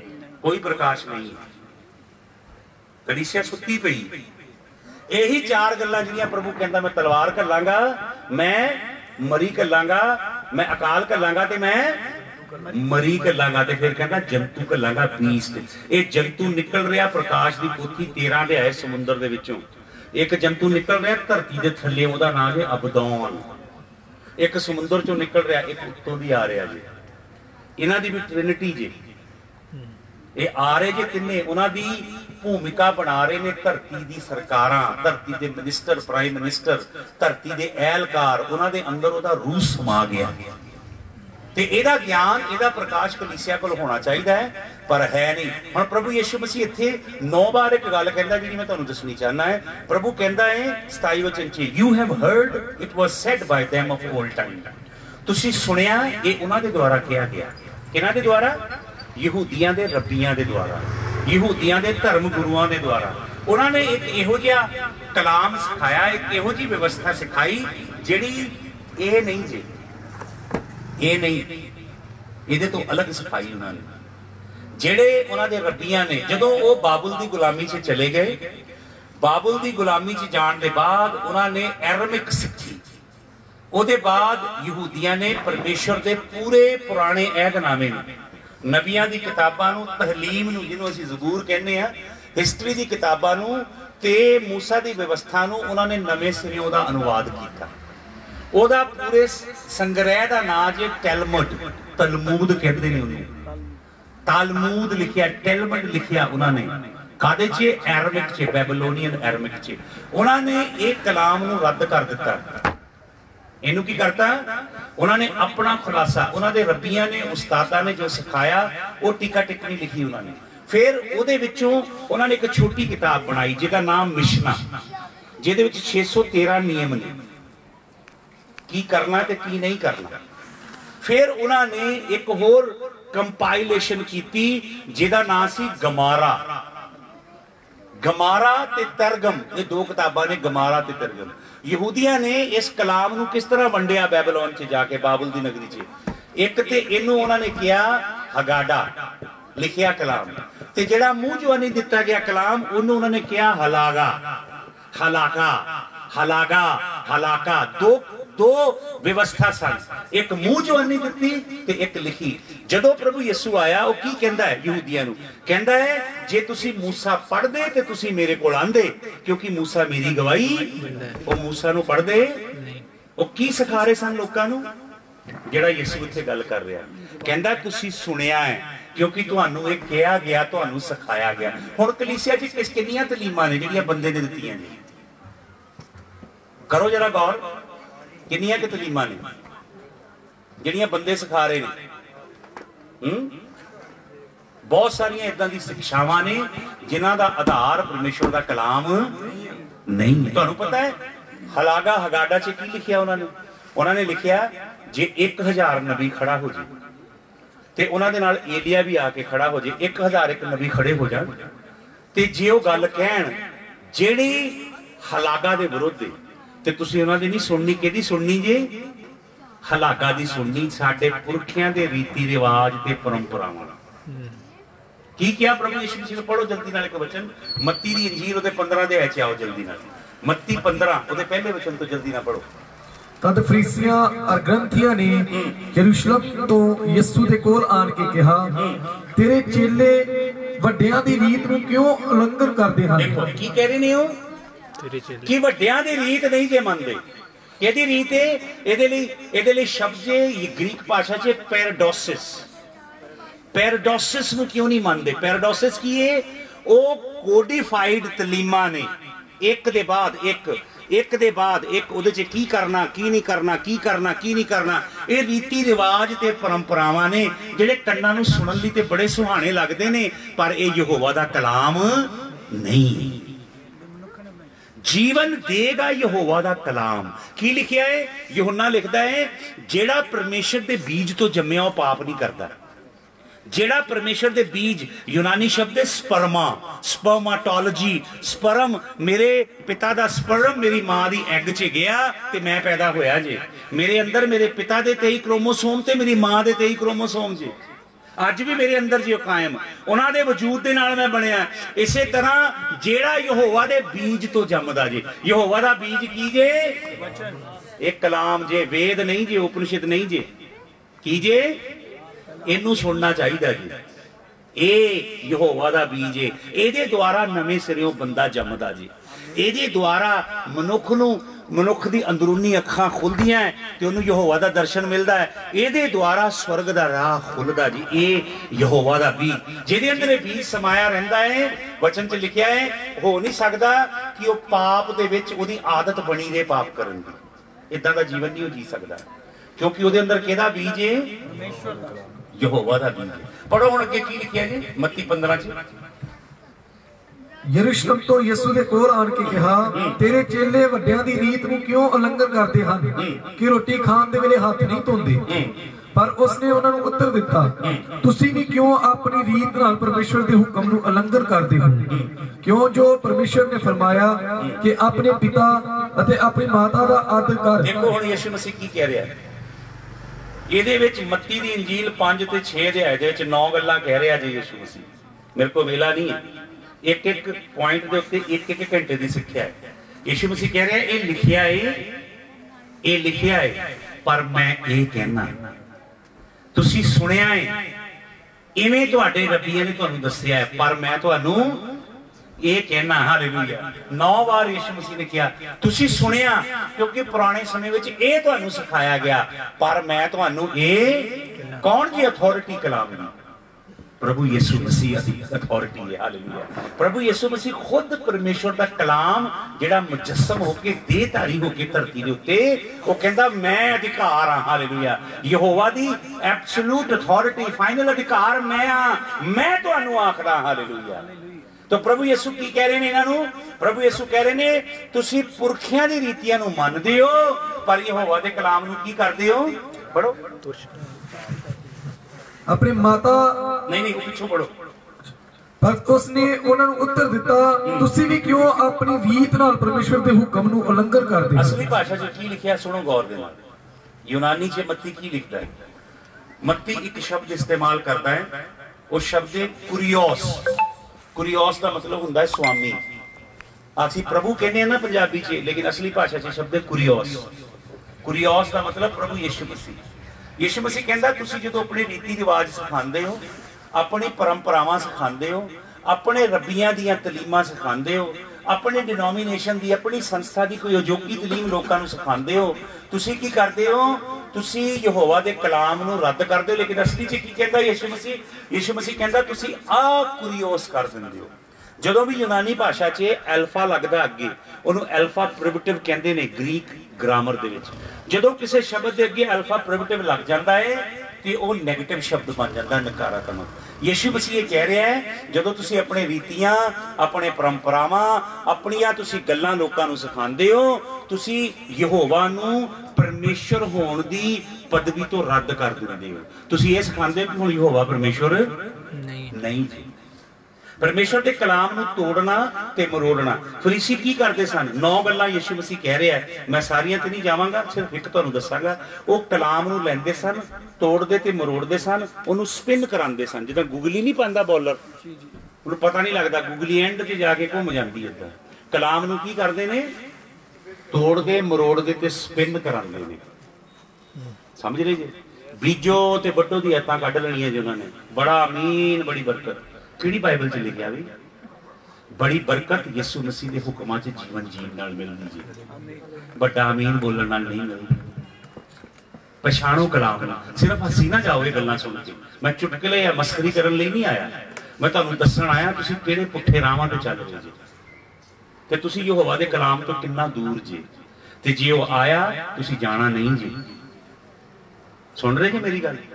ਉਹਨੇ ਜਲਾਲੀ ਲਾੜੀ ਨੂੰ ਲੈ ਕੇ ਜਾਣਾ ਜੀ। ਜਿਹਦੀ ਝੁਰਰੀਆਂ ਦਾਗ ਤੇ ਧੱਬੇ ਦੂਰ ਹੈ, ਜਿਹੜੀ ਹਰਾਮਕਾਰੀ, ਜਨਾਹਕਾਰੀ ਲੁੱਚਪੁਣੇ ਤੋਂ ਲਾਂਭੇ ਰਹਿੰਦੀ ਜੇ, ਜਿਹੜੀ ਪਵਿੱਤਰ ਜੀਵਨ ਜੀਂਦੀ ਜੇ ਲਾੜੇ ਦੇ ਲਈ ਉਹਨੂੰ ਲੈਣ ਲਈ ਆ ਰਿਹਾ ਜੀ ਉਸ ਲਾੜੀ ਨੂੰ ਜਿਹੜੀ ਪਿਆਰ ਹੈ, ਹਾਲੇਲੂਇਆ। ਉਹ ਸਾਈਆਂ ਦੀ ਜੁੰਡਲੀ ਲੈਣ ਲਈ ਨਹੀਂ ਆ ਰਿਹਾ। ਆਪਣੀ ਲਾੜੀ ਲੈਣ ਆ ਰਿਹਾ ਜੀ। ਤੇ ਲਾੜੀ। ਪ੍ਰਕਾਸ਼ ਦੀ ਪੋਥੀ 18 ਦੇ ਅਧਿਆਇ 9 ਚ ਲਿਖਿਆ ਹੈ। ਉਹਨੇ ਜਿਹੜੀ ਪੋਸ਼ਾਕ ਪਾਈ ਹੈ ਉਹਦੇ ਚ ਲਿਖਿਆ ਗ੍ਰੀਕ ਵਰਡ ਹੈ ਲੈਂਪੋਸ ਉਹਦੀ ਪੋਸ਼ਾਕ ਚਮਕ ਰਹੀ। ਲੈਂਪੋਸ ਆ ਵਰਡ ਜੀ ਆ ਲੈਂਪ ਲੱਗਾ ਨਾ ਇੱਥੇ ਲੈਂਪੋਸ ਗ੍ਰੀਕ ਸ਼ਬਦ ਹੈ ਉਹਦੀ ਪੋਸ਼ਾਕ ਇਦਾਂ ਚਮਕ ਰਹੀ ਜੇ, ਜਿੱਦਾਂ ਵਿੱਚ ਲਾਟੂ ਲੱਗੇ ਹੋਣ। ਉਹ ਕੀ ਲਿਖਿਆ ਅੱਗੇ? ਲਿਖਿਆ ਇਹ ਲਾੜੀ ਦੇ ਧਰਮ ਦੇ ਕੰਮ ਨੇ। ਉਹ ਪਵਿੱਤਰ ਜੀਵਨ ਉਹਨੇ ਗੁਜ਼ਾਰਿਆ। ਉਹ ਸਿੱਧੇ ਰਾਹ ਤੇ ਚੱਲੀ ਏ। ਉਹ ਤੰਗ ਫਾਟਕ ਦੇ ਵਿੱਚੋਂ ਨਿਕਲਦੀ ਜੇ, ਸਕਰੇ ਮਾਰਗ ਤੇ ਚੱਲਦੀ ਜੇ, ਇਹ ਲਾੜੀ ਜਿਸਮ ਦੀ ਖੁਆਸ਼ਾਂ ਨੂੰ ਸਲੀਬ ਤੇ ਚੜਾਉਂਦੀ ਏ, ਅੱਖਾਂ ਦੀ ਅਭਿਲਾਸ਼ਾ ਨੂੰ ਸਲੀਬ ਤੇ ਚੜਾਉਂਦੀ ਏ, ਇਹ ਲਾੜੇ ਦੀ ਨਹੀਂ ਜੀਂਦੀ ਏ, ਇਹ ਆਪਣੀ ਦੇਹ ਨੂੰ ਹਰਾਮਕਾਰੀ ਲੁੱਚਪੁਣਾ ਗੰਦੇ ਕੰਮਾਂ ਲਈ ਨਹੀਂ ਦਿੰਦੀ ਇਹ ਯਹੋਵਾ ਦੇ ਪਵਿੱਤਰ ਕਲਾਮ ਦੇ ਵਿੱਚ ਜੀਵਨ ਬਸਰ ਕਰਦੀ। ਇਹ ਬਨਾਵਟੀ, ਦਿਖਾਵਟੀ ਸੇਵਾ ਨਹੀਂ ਕਰਦੀ। ਲੋਕਾਂ ਕੋਲੋਂ ਪੈਸੇ ਠੱਗਣ ਦੀ, ਆਪਣਾ ਆਪ ਨੂੰ ਲੋਕਾਂ ਦੇ ਵਿੱਚ ਵੱਡਾ ਬਾਬਾ ਬਣਾ ਕੇ ਪੇਸ਼ ਕਰਨ ਦੀ ਸੇਵਕਾਈ ਨਹੀਂ ਕਰਦੀ ਇਹ ਲਾੜੀ। ਇਹ ਲਾੜੀ ਟੁੱਟ ਕੇ ਸੱਚੀ ਤੇ ਖਾਲਸ ਸੇਵਾ ਕਰ ਰਹੀ ਹੈ ਯਿਸੂ ਮਸੀਹ ਦੀ। ਇਹ ਲਾੜੀ ਦੇ ਜੀਵਨ ਦਾ ਉਦੇਸ਼ ਆਪਣੇ ਆਪ ਨੂੰ ਵੱਡਾ ਕਰਨਾ ਨਹੀਂ ਹੈ। ਇਸ ਲਾੜੀ ਦੇ ਜੀਵਨ ਦਾ ਉਦੇਸ਼ ਯਿਸੂ ਦੇ ਨਾਮ ਨੂੰ ਉੱਚ ਕਰਨਾ ਇਸ ਤਰ੍ਹਾਂ ਦੀ ਲਾੜੀ ਨੂੰ ਲੈਣ ਲਈ ਆ ਰਿਹਾ ਜੀ। ਜਿਹਦੇ ਲੀੜਿਆਂ ਦੇ ਵਿੱਚੋਂ ਕੀ ਨਿਕਲ ਰਹੀ ਜੇ? ਤੁਹਾਨੂੰ ਪਤਾ ਹੈ ਯਿਸੂ ਦੀ ਲਾੜੀ ਦੁਲਹਨ ਜਿਹੜੀ ਹੋਣੀ ਜੇ, ਸਾਡੇ ਸਭ ਦੇ ਲੀੜਿਆਂ 'ਚ ਇੱਕ ਤਰ੍ਹਾਂ ਦੀ ਰੋਸ਼ਨੀ ਵੀ ਨਿਕਲਣੀ। ਕਿਸੇ ਦੇ ਅੰਦਰੋਂ 100 ਵਾਟ ਦੀ ਨਿਕਲਣੀ ਜੇ, ਕਿਸੇ ਦੇ 50 ਦੀ, ਕਿਸੇ ਦੇ 1000 ਦੀ, ਕਿਸੇ ਦੇ ਕਈ ਲੱਖ ਨੂੰ ਜਗ ਹੋਣੇ ਆ। ਉਹ ਕਾਹਦੇ ਤੇ ਮਨਸਰ ਕਰਦਾ ਹੈ? ਕਿ ਕਿੱਦਾਂ ਦਾ ਜੀਵਨ ਤੁਸੀਂ ਹੁਣ ਜੀ ਰਹੇ ਹੋ? ਹਾਲੇਲੂਇਆ ਉਦੋਂ ਪਤਾ ਲੱਗ ਜਾਣਾ ਜੀ, ਦੇਖ ਕੇ ਵੀ ਇਹ ਕਿੰਨਾ ਕੁ ਪ੍ਰਭੂ 'ਚ ਚੱਲਿਆ ਜੀ। ਕਾਹਦੇ ਤੋਂ? ਪੋਸ਼ਾਕ ਤੋਂ ਲੱਗ ਜਾਣਾ ਜੀ ਪਤਾ। ਸੰਤ ਪਲੂਸ ਕਹਿੰਦਾ ਹੈ ਅੰਬਰ ਦੇ ਤਾਰਿਆਂ ਦਾ ਜਦ ਨਹੀਂ ਦੇਖ ਰਹੇ। ਕਹਿੰਦਾ ਜੀ, ਜਲਾਲ ਵੱਖਰਾ ਵੱਖਰਾ ਹੈ। ਤੇ ਕੀ ਕਹਿੰਦਾ ਦਾਨੀਅਲ? ਦਾਨੀਅਲ ਕਹਿੰਦਾ ਜਿਹੜੇ ਦੂਜਿਆਂ ਨੂੰ ਧਰਮੀ ਬਣਾਉਂਦੇ ਆ, ਸੱਚਾ ਤੇ ਖਾਲਿਸ ਕਲਾਮ ਸਿਖਾਉਂਦੇ ਆ। ਉਹ ਯਹੋਵਾ ਦੇ ਅੰਬਰ 'ਚ ਤਾਰਿਆਂ ਦੀ ਤਰ੍ਹਾਂ ਚਮਕਣਗੇ। ਹਾਲੇਲੂਇਆ ਕੁਰਿੰਥੀਆਂ ਦੀ ਪੱਤਰੀ 'ਚ ਸੰਤ ਪਲੂਸ ਲਿਖਦਾ ਜੇ, ਸਵਰਗੀ ਦੇਵਾਂ ਦਾ ਜਲਾਲ ਵੱਖਰਾ ਵੱਖਰਾ ਹੈ। ਹਾਲੇਲੂਇਆ ਪ੍ਰਭੂ ਯਿਸੂ ਕਹਿੰਦਾ ਹੈ ਤੁਸੀਂ ਕਲਾਮ ਨੂੰ ਤੋੜਦੇ ਤੇ ਮਰੋੜਦੇ ਜੀ। ਕੀ ਕੀ ਕੀਤਾ ਪ੍ਰਭੂ ਯਿਸੂ ਮਸੀਹ? ਤੁਹਾਨੂੰ ਪਤਾ ਹੈ? ਕਰੂਸ ਉੱਤੇ ਜਾਣ ਤੋਂ ਪਹਿਲਾਂ ਕਿਹੜਾ ਕੰਮ ਕੀਤਾ? ਜਲਦੀ ਨਾ ਕੱਢੋ। ਮੱਤੀ ਦੀ ਇੰਜੀਲ ਉਹਦਾ 21 ਦੇ ਉਹਦੇ 12 ਵਚਨ ਤੋਂ ਪੜੋ ਮੱਤੀ 21 ਦੇ 12 ਸੁਣੀਏ ਧਿਆਨ ਦੇ ਨਾਲ। ਫਿਰ ਯਿਸੂ ਪਰਮੇਸ਼ਵਰ ਦੀ ਹੈਕਲ ਵਿੱਚ ਗਿਆ। ਕਿੱਥੇ ਗਿਆ? ਇਹ ਯਿਸੂ ਮਸੀਹ ਸਲੀਬ ਤੇ ਜਾਣ ਤੋਂ ਪਹਿਲਾਂ ਇੱਕ ਹਫ਼ਤੇ ਨਾਲੋਂ ਘੱਟ ਸਮੇਂ ਬਚਿਆ ਜੇ ਹੁਣ ਉਹਨੇ ਸਲੀਬ ਤੇ ਚੜਨਾ ਜੇ। ਪਹਿਲਾਂ ਕਿੱਥੇ ਗਿਆ ਜੇ? ਹੈਕਲ 'ਚ ਗ੍ਰੀਕ ਵਰਡ ਯ- ਯੂਨਾਨੀ ਭਾਸ਼ਾ ਦਾ ਸ਼ਬਦ ਜੇ ਹੀਰੋਨ ਥੀਓਸ ਯਹੋਵਾ ਦੀ ਹੈਕਲ 'ਚ ਗਿਆ ਹੈਕਲ ਦਾ ਹਿੱਸਾ ਜਿੱਥੇ ਗਿਆ ਅੱਗੇ ਪੜੋ ਅਤੇ ਉਹਨਾਂ ਸਭਨਾਂ ਨੂੰ ਜਿਹੜੇ ਹੈਕਲ ਵਿੱਚ ਵੇਚਦੇ ਅਰ ਮੁੱਲ ਲੈਂਦੇ ਸਨ। ਕੀ ਕਰ ਰਹੇ ਨੇ ਹੈਕਲ ਦੇ ਵਿੱਚ? ਵੇਚ। ਕੀ ਚੱਲ ਰਿਹਾ ਜੀ? ਕਾਰੋਬਾਰ ਚੱਲ ਰਿਹਾ ਜੀ। ਵੇਚਿਆ ਜਾ ਰਿਹਾ ਤੇ ਖਰੀਦਿਆ ਜਾ ਰਿਹਾ। ਕਿਉਂਕਿ ਯਰੂਸ਼ਲਮ ਪਹਾੜ ਤੇ ਵਸਿਆ ਨਗਰ ਹੈ। ਇਸرائیਲੀਆਂ ਨੂੰ ਯਹੋਵਾ ਦੀ ਆਗਿਆ ਹੈ ਕਿ ਸੱਤ ਪਰਬ ਮਨਾਉਣ ਲਈ ਯਹੋਵਾ ਦੇ ਸਾਹਮਣੇ ਆਣਾ ਜੀ। ਕਿੰਨੇ? ਸੱਤ। ਤੇ ਉਹਦੇ ਵਿੱਚੋਂ ਤਿੰਨ ਜ਼ਰੂਰੀ ਨੇ। ਪੰਤੇਕੁਸ ਦਾ ਪਰਬ ਫਸਾਹ ਦਾ ਪਰਬ ਤੇ ਝੂਪੜੀਆਂ ਦਾ ਪਰਬ। ਹਰ ਇੱਕ ਯਹੂਦੀ ਨੇ ਮਨਾਉਣ ਲਈ ਯਹੋਵਾ ਦੇ ਮੋਹਰੇ ਆਣਾ ਹੈ। ਤੇ ਯਹੋਵਾ ਦੀ ਆਗਿਆ ਖਾਲੀ ਹੱਥ ਨਹੀਂ ਆਣਾ ਯਹੋਵਾ ਦੇ ਭਵਨ 'ਚ। ਤੇ ਉਹ ਬੱਕਰੇ, ਛਤਰੇ, ਮੇਮਣੇ ਮੇਢੇ ਲੈ ਕੇ ਆਉਂਦੇ ਨੇ ਯਹੋਵਾ ਦੇ ਮੂਹਰੇ। ਤੇ ਉਹ ਦਸਵੰਧ ਚੜਾਉਂਦੇ ਨੇ। ਮਟਕਿਆਂ ਦੇ ਵਿੱਚ ਜੈਤੂਨ ਦਾ ਤੇਲ ਲਿਆਉਂਦੇ ਨੇ, ਮਟਕਿਆਂ ਦੇ ਵਿੱਚ ਸ਼ਹਿਦ ਭਰ ਕੇ ਲਿਆਉਂਦੇ ਨੇ। ਅਨਾਜ ਲੈ ਕੇ ਆਉਂਦੇ ਨੇ, ਕੱਪੜਾ ਲੈ ਕੇ ਆਉਂਦੇ ਨੇ, ਸੋਨਾ, ਚਾਂਦੀ ਲੈ ਕੇ ਆਉਂਦੇ ਨੇ। ਉਹ ਡੰਗਰਾਂ ਦੇ ਪਲੋਠੇ ਯਹੋਵਾ ਨੂੰ ਚੜਾਉਂਦੇ ਨੇ। ਹਰ ਤਰ੍ਹਾਂ ਦੀ ਭੇਟ ਯਹੋਵਾ ਦੇ ਲਈ ਕੀ ਕਰਦੇ ਨੇ? ਅਰਪਣ ਕਰਦੇ ਨੇ। ਯਹੋਵਾ ਦੀ ਹੈਕਲ 'ਚ ਇੱਕ ਖਾਸ ਗੱਲ ਏ, ਯਹੂਦੀ ਲੋਕ ਕਿਉਂਕਿ ਉਸ ਵੇਲੇ ਰੋਮ ਰਾਜ ਕਰ ਰਿਹਾ। ਤੇ ਰੋਮ ਦਾ ਸਿੱਕਾ ਚੱਲਦਾ ਜੇ ਵੱਖਰਾ। ਲੇਕਿਨ ਯਹੂਦੀ ਯਹੋਵਾ ਦੀ ਹਜ਼ੂਰੀ 'ਚ ਰੋਮੀ ਸਿੱਕਾ ਨਹੀਂ ਚੜਾਉਂਦੇ ਉਹ ਸ਼ੇਕਲ ਚੜਾਉਂਦੇ ਨੇ, ਜਿਹੜੇ ਰਾਜਾ ਦਾਊਦ ਨੇ ਚਲਾਈ ਸੀ ਕਰੰਸੀ। ਸੋਨੇ ਤੇ ਚਾਂਦੀ ਦੇ ਸਿੱਕੇ। ਹੁਣ ਜਿਹੜੇ ਸੋਨੇ ਤੇ ਚਾਂਦੀ ਦੇ ਸਿੱਕੇ ਨੇ, ਇਹ ਸਾਰੇ ਹੈਕਲ ਦੇ ਯਾਜਕ ਅੰਨਾ ਤੇ ਕੈਫਾ। ਇਹ ਦਮਾਦ ਤੇ ਸੌਰਾ ਜੀ ਨੇ ਦੋਨੇ, ਅੰਨਾ ਤੇ ਕੈਫਾ। ਇੱਕ ਸੌਰਾ ਜੀ ਤੇ ਦੂਜਾ ਉਹਦਾ ਜਵਾਈ ਜੀ। ਇਹਨਾਂ ਨੇ ਪੂਰੀ ਹੈਕਲ ਦੇ ਉੱਤੇ ਕੀ ਕੀਤਾ ਜੀ? ਕਬਜ਼ਾ ਕੀਤਾ ਜੀ। ਇਹਨਾਂ ਨੇ ਇੱਕ ਪ੍ਰੋਗਰਾਮ ਬਣਾਇਆ ਜੋ ਉੱਥੇ ਹੈਕਲ ਦੇ ਅੰਦਰ ਉੱਥੇ ਪੂਰੀ ਮਾਰਕੀਟ ਚੱਲ ਰਹੀ ਹੈ। ਲੋਕ ਜਿਹੜੇ ਯਹੋਵਾ ਨੂੰ ਸ਼ੇਕਲ ਚੜਾਉਣਾ ਚਾਹੁੰਦੇ ਨੇ, ਉੱਥੇ ਇੱਕ ਟੇਬਲ ਲੱਗਿਆ ਜੇ ਵੈਸਟਰਨ ਯੂਨੀਅਨ ਦਾ ਅੰਦਰ। ਉੱਥੇ ਇਹ ਕਰੰਸੀ ਦਿਓ ਤੇ ਦੂਜੀ ਕਰੰਸੀ ਲੈ ਲਓ। ਫਿਰ ਇਹ ਲੋਕਾਂ ਨੂੰ ਸੁਵਿਧਾ ਦਿੰਦੇ ਨੇ ਕਿ ਤੁਸੀਂ ਥੱਲੇੋਂ ਦੀ ਡੰਗਰ ਚੁੱਕ ਕੇ ਲਿਆਣੇ ਜੇ, ਯਹੋਵਾ ਦੀ ਹੈਕਲ 'ਚ ਤੁਹਾਨੂੰ ਲੋੜ ਕੋਈ ਨਹੀਂ ਜੇ। ਇੱਥੇ ਸਾਰੇ ਡੰਗਰਾਂ ਦਾ, ਇੱਥੇ ਪੈਸੇ ਦਿਓ ਤੇ ਡੰਗਰ, ਤੇ ਨਾਲ ਹੀ ਯਹੋਵਾ ਨੂੰ ਹੁਣ ਮੈਂ ਤੁਹਾਨੂੰ ਦੱਸਣਾ ਚਾਹੁੰਦਾ ਕੀ ਕੀ ਲਿਖਿਆ ਇੱਥੇ ਬੜੇ ਗੌਰ ਨਾਲ ਸੁਣਨਾ। ਅਸਲੀ origignal ਟੈਕਸਟ 'ਚ ਕੀ ਲਿਖਿਆ? ਇੱਥੇ ਸ਼ਬਦ ਹੈ ਹੇਰੋਨ ਥੀਓਸ ਉਹ ਪਰਮੇਸ਼ਰ ਦੀ ਹੈਕਲ 'ਚ ਗਿਆ ਤੇ ਉੱਥੇ ਜਾ ਕੇ ਉਹਨੇ ਕੀ ਕੀਤਾ? ਪੜੋ ਜਰਾ ਪਹਿਲਾਂ ਪੜ ਦੋ। ਫਿਰ ਯਿਸੂ ਪਰਮੇਸ਼ਵਰ ਦੀ ਹੈਕਲ ਵਿੱਚ ਗਿਆ ਅਤੇ ਉਹਨਾਂ ਸਭਨਾਂ ਨੂੰ ਜਿਹੜੇ ਹੈਕਲ ਵਿੱਚ ਵੇਚਦੇ ਔਰ ਮੁੱਲ ਲੈਂਦੇ ਸਨ ਕੱਢ ਦਿੱਤਾ। ਕੀ ਕੀਤਾ ਉਹਨੇ? ਜਿਹੜੇ ਵੇਚਦੇ ਤੇ ਮੁੱਲ ਲੈਂਦੇ ਨੇ ਉਹਨਾਂ ਨੂੰ ਕੱਢ ਦਿੱਤਾ। ਇੱਥੇ ਮੈਂ ਤੁਹਾਨੂੰ ਦੱਸਣਾ ਚਾਹੁੰਦਾ ਗ੍ਰੀਕ 'ਚ ਕੀ ਲਿਖਿਆ? ਹੈ ਇੱਥੇ ਲਿਖਿਆ ਯੀਸ਼ੂ ਮਸੀਹ ਨੇ ਮੇਜ਼ ਉਲਟ ਪੁਲਟ ਕਰ ਦਿੱਤੇ। ਇੱਥੇ ਅਸਲੀ ਸ਼ਬਦ ਜੇ ਕੈਟਾਸ। ਕੈਟਾਸ ਤੋਂ ਅੰਗਰੇਜ਼ੀ ਦਾ ਸ਼ਬਦ ਨਿਕਲਦਾ ਜੇ ਕੈਟਾਸਟ੍ਰੋਫੀ। ਕੈਟਾਸਟ੍ਰੋਫੀ ਦਾ ਮਤਲਬ ਹੁੰਦਾ ਵਿਪਤੀ ਆ ਜਾਣਾ। ਇਦਾਂ ਯਿਸੂ ਮਸੀਹ ਗਿਆ ਜਿੱਦਾਂ ਬੜੀ ਵਿਪਤੀ ਆਈ ਹੈ। ਉਹਨੇ ਉਹ ਮੇਜ਼, ਉਹ ਜਿਹੜਾ ਮੇਜ਼ ਏ, ਉਸ ਮੇਜ਼ ਦਾ ਨਾਂ ਜੇ ਟਰਪੀਜ਼ੋ। ਕੀ ਨਾਂ ਜੇ? ਟਰਪੀਜ਼ੋ। ਟਰਪੀਜ਼ੋ ਦਾ ਮਤਲਬ ਹੁੰਦਾ ਜੇ ਮਿੰਨੀ ਬੈਂਕ। ਪਰਮੇਸ਼ਰ ਦੀ ਹੈਕਲ ਦੇ ਵਿੱਚ ਇੱਕ ਛੋਟਾ ਜਿਹਾ ਬੈਂਕ ਚੱਲ ਰਿਹਾ ਜੀ। ਜਿੱਥੇ ਇੱਕ ਕਰੰਸੀ ਦਿਓ ਤੇ ਦੂਜੀ ਕਰੰਸੀ ਤੇ ਥੋੜੀ ਜੀ ਕਮਿਸ਼ਨ ਕੱਟੀ ਜਾਏਗੀ ਉਹਦੀ। ਹੈਕਲ ਦੇ ਅੰਦਰ ਕੀ ਜੇ? ਬੈਂਕਿੰਗ ਸਿਸਟਮ ਜੇ। ਟ੍ਰਪੀਜ਼ੋ ਉਹ ਮੇਜ਼ ਇੱਕ ਮਿਨੀ ਬੈਂਕ ਹੈ ਜਿੱਥੇ ਵਪਾਰ ਕਰ ਰਹੇ ਨੇ ਲੋਕ। ਯਿਸੂ ਮਸੀਹ ਨੇ ਮੇਜ਼ਾਂ ਨੂੰ ਉਲਟਾ ਪੁਲਟਾ ਕਰ ਦਿੱਤਾ ਤੇ ਉੱਥੇ ਮਨੀ ਚੇਂਜਰ ਬੈਠੇ ਨੇ। ਉਹਦੇ ਲਈ ਸ਼ਬਦ ਜੇ, ਕੋਲੂ ਬਿਸਟਾਸ। ਕੁੱਲੂ ਬਿਸਟਾਸ ਬੈਠੇ ਨੇ, ਜਿਹੜੇ ਕਰੰਸੀਆਂ ਤਬਦੀਲ ਕਰ ਰਹੇ ਨੇ। ਯਿਸੂ ਮਸੀਹ ਨੇ ਇਹਨਾਂ ਨੂੰ ਭਜਾਤਾ, ਟਰਪੀਜ਼ੋ ਨੂੰ ਉਲਟ ਪੁਲਟ ਕਰਤਾ। ਟਰਪੀਜ਼ੋ ਜਿਹੜਾ ਸ਼ਬਦ ਜੇ, ਇਹ ਬੈਂਕ ਲਈ ਇਸਤੇਮਾਲ ਹੁੰਦਾ ਜੇ, ਲੋਨ, ਜਿੱਥੇ ਲੋਨ ਮਿਲਦਾ ਜੇ, ਉਸ ਜਗ੍ਹਾ ਲਈ ਇਸਤੇਮਾਲ ਹੁੰਦਾ, ਬ੍ਰੋਕਰ ਦੇ ਆਫਿਸ ਲਈ, ਜਿੱਥੇ ਦਲਾਲ ਬੈੰਦੇ ਨੇ, ਉਹਨਾਂ ਦੇ ਦਫ਼ਤਰ ਨੂੰ ਵੀ ਟਰਪੀਜ਼ੋ ਕਿਹਾ ਜਾਂਦਾ। ਯਿਸੂ ਮਸੀਹ ਨੇ ਟਰਪੀਜ਼ੋ ਕੱਟੇ ਯਹੋਵਾ ਦੀ ਹੈਕਲ ਚੋਂ। ਤੇ ਲਿਖਿਆ ਜੇ ਉਹਨਾਂ ਕੁਰਸੀਆਂ ਨੂੰ ਉਹਨੇ ਉਲਟ ਪੁਲਟ ਕਰਤਾ। ਪੜੋ ਲਿਖਿਆ ਇਹਦੇ ਚ ਵਚਨ ਨੂੰ? ਪੜੋ ਅੱਗੇ। ਸ਼ਰਾਫਾਂ ਦੇ ਤਖਤ ਪੋਸ਼ ਹੂੰ। ਔਰ ਕਬੂਤਰ ਵੇਚਣ ਵਾਲਿਆਂ ਦੀਆਂ ਚੌਂਕੀਆਂ ਉਲਟਾ ਸੁੱਟੀਆਂ। ਕੀ ਲਿਖਿਆ ਜੀ? ਕੁਰਸੀਆਂ ਉਲਟਾ ਦਿੱਤੀਆਂ। ਟੇਬਲ ਤੇ ਕੁਰਸੀਆਂ ਦੋ ਸ਼ਬਦ ਹੈ ਇੱਥੇ। ਟੇਬਲ ਲਈ ਸ਼ਬਦ ਹੈ ਟ੍ਰਪੀਜ਼ੋ ਦਾ ਮਤਲਬ ਬੈਂਕ ਖੁੱਲਾ ਸੀ ਤੇ ਕੁਰਸੀ ਕੁਰਸੀ ਦੇ ਲਈ ਸ਼ਬਦ ਜੇ ਕਥੀਰਾ ਜਾਂ ਕਥੀਡਰਾ ਤੁਸੀਂ ਸੁਣਿਆ ਹੋਣਾ ਕਈ ਚਰਚਾਂ ਦਾ ਨਾਮ ਹੁੰਦਾ ਸੇਂਟ ਪਾਲ ਕਥੀਡਰਲ। ਕਥੀਰਾ ਕੀ ਚੀਜ਼ ਹੁੰਦੀ ਜੇ ਇੱਕ ਕੁਰਸੀ ਹੁੰਦੀ ਸੀ ਯਹੂਦੀਆਂ ਦੀ ਹੈਕਲ 'ਚ, ਬੜੀ ਵੱਡੀ ਕੁਰਸੀ। ਬਹੁਤ ਸੋਹਣੀ ਜਿੱਦਾਂ ਅੱਜ ਕੱਲ ਹੁੰਦੀ ਨਾ ਜਿਹਦੇ 'ਚ ਲਾੜੇ ਨੂੰ ਬਿਠਾਉਂਦੇ ਜੇ ਤੇ ਇੱਧਰ ਲਾੜੀ ਨੂੰ ਬਿਠਾਉਂਦੇ ਜੇ, ਵਧੀਆ ਜੀ ਕੁਰਸੀ। ਉਹਦੇ ਵਿੱਚ ਰੱਬੀ ਉਸਤਾਦ ਬਹਿੰਦਾ ਤੇ ਸਾਰਿਆਂ ਨੂੰ ਕਲਾਮ ਸਿਖਾਉਂਦਾ। ਉਹਨੂੰ ਮੂਸਾ ਦੀ ਕੁਰਸੀ ਕਿਹਾ ਗਿਆ। ਯਿਸੂ ਮਸੀਹ ਕਹਿੰਦਾ, ਇਹ ਜਿਹੜੇ ਮੂਸਾ ਦੀ ਕੁਰਸੀ ਵਿੱਚ ਬਹਿੰਦੇ ਨੇ ਤੇ ਕਲਾਮ ਸਿਖਾਉਂਦੇ ਨੇ। ਇਹ ਜਿਹੜੀਆਂ ਗੱਲਾਂ ਕਹਿੰਦੇ ਨੇ ਸੁਣੋ, ਪਰ ਇਹਨਾਂ ਵਰਗੇ ਕੰਮ ਨਾ ਕਰਿਓ। ਇਹ ਜੇ ਉਹ ਕੁਰਸੀ ਜਿਹਦੇ ਵਿੱਚ ਬਹਿ ਕੇ ਰੱਬੀ ਯਹੋਵਾ ਦਾ ਕਲਾਮ ਸਿਖਾਉਂਦਾ ਜੀ, ਇਹ ਉਹ ਕੁਰਸੀ ਜੇ ਜਿੱਥੋਂ ਆਤਮਿਕ ਚੀਜ਼ਾਂ ਦਾ ਆਦਾਨ ਪ੍ਰਦਾਨ ਹੁੰਦਾ ਜੀ, ਉਹ ਕੁਰਸੀ ਜਿੱਥੇ ਰੂਹਾਨੀ ਚੀਜ਼ਾਂ ਦਾ ਆਦਾਨ ਪ੍ਰਦਾਨ ਹੁੰਦਾ ਜੇ, ਉਹਨੂੰ ਕਾਰੋਬਾਰ ਦੇ ਵਿੱਚ ਬਦਲਿਆ ਗਿਆ ਜੀ। ਉਹ ਟੇਬਲ ਜਿਹੜਾ ਟਰਪੀਜ਼ੋ ਹੈ ਬੈਂਕ ਖੋਲ ਦਿੱਤਾ ਗਿਆ ਯਹੋਵਾ ਦੀ ਹੈਕਲ ਚ। ਸ਼ੀਸ਼ੀਆਂ ਰੱਖੀਆਂ ਜੇ 200 ਦੀ 250 ਦੀ 300 ਦੀ 500 ਦੀ। ਨਬੀ ਸਾਹਿਬ ਨੇ ਹੰਝੂ ਡੋਲੇ ਜੇ ਵਿੱਚ ਇਹਦੇ। ਪਸੀਨੇ ਨਾਲ ਦੁਆ ਕੀਤੀ, ਪਹਾੜ ਤੇ ਚੜ ਕੇ। ਇਹ ਬਹੁਤ ਖਾਸ ਜੀ। ਹੈ? ਭੈਣ ਲੈਂਦੀ ਜੇ, ਸ਼ੀਸ਼ੀ ਜਨਾਹਕਾਰੀ ਨਹੀਂ ਛੱਡਦੀ, ਹਰਾਮਕਾਰੀ ਨਹੀਂ ਛੱਡਦੀ। ਬਿਮਾਰ ਪੈਂਦੀ, ਤੇਲ ਝੱਸੀ ਜਾਂਦੀ, ਤੂੰ ਕਦੇ ਨਹੀਂ ਚੰਗੀ ਹੋਣਾ ਭੈਣ। ਕਿਉਂਕਿ ਤੈਨੂੰ ਉਹਨੇ ਸੱਚਾ ਜੀਵਨ ਨਹੀਂ ਸਿਖਾਇਆ। ਸੱਚੀ ਤੌਬਾ ਨਹੀਂ ਸਿਖਾਈ, ਯਹੋਵਾ ਦੇ ਸੱਚੇ ਰਾਹ ਨਹੀਂ ਸਿਖਾਏ। ਪਾਪ ਹਰਾਮਕਾਰੀ ਗੰਦੇ ਕੰਮ ਛੱਡ ਕੇ ਕਰੂਸ ਉਠਾ ਕੇ ਯਹੋਵਾ ਪਿੱਛੇ ਚੱਲਣਾ ਨਹੀਂ ਸਿਖਾਇਆ। ਉਹ ਬਨਾਵਟੀ ਬੰਦੇ ਨੇ ਠਗਿਆ ਜੇ ਤੈਨੂੰ। ਤੇ ਤੇਲ ਦੀ ਸ਼ੀਸ਼ੀ ਵੇਚੀ ਜੀ। ਉਹਦਾ ਤੇ ਬੈਂਡ ਵਜਾਣਾ ਜੀ ਯਹੋਵਾ ਨੇ, ਪੱਕਾ ਵੱਜਣਾ ਜੀ। ਇਹ ਕਲਾਮ ਕਹਿੰਦਾ ਜੀ, ਮੈਂ ਨਹੀਂ ਕਹਿੰਦਾ। ਇਹਨੂੰ ਪੜੋ ਉਹ ਵੱਜਣਾ ਵੱਜਣਾ ਜੀ।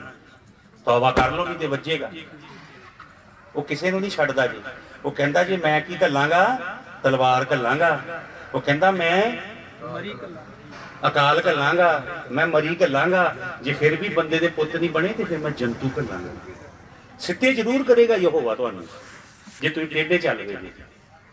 ਅਵශ්‍ය ਕਰੇਗਾ। ਹਾਲੇਲੂਇਆ ਇਸ ਲਈ ਉਹਦੇ ਸੱਚੇ ਰਾਵਾਂ ਵੱਲ ਮੁੜੀਏ ਉਹਦੇ ਸੱਚੇ ਕਲਾਮ ਨੂੰ ਫੜੀਏ ਹਾਲੇਲੂਇਆ ਕਿਹਨੂੰ ਫੜੀਏ? ਇਹ ਸੱਚੇ ਕਲਾਮ ਨੂੰ ਫੜੀਏ। ਇਹ ਸੱਚੀ ਸਿੱਖਿਆ ਤੇ ਚੱਲੀਏ। ਪਵਿੱਤਰਤਾਈ ਦਾ ਜੀਵਨ ਗੁਜ਼ਾਰੀਏ।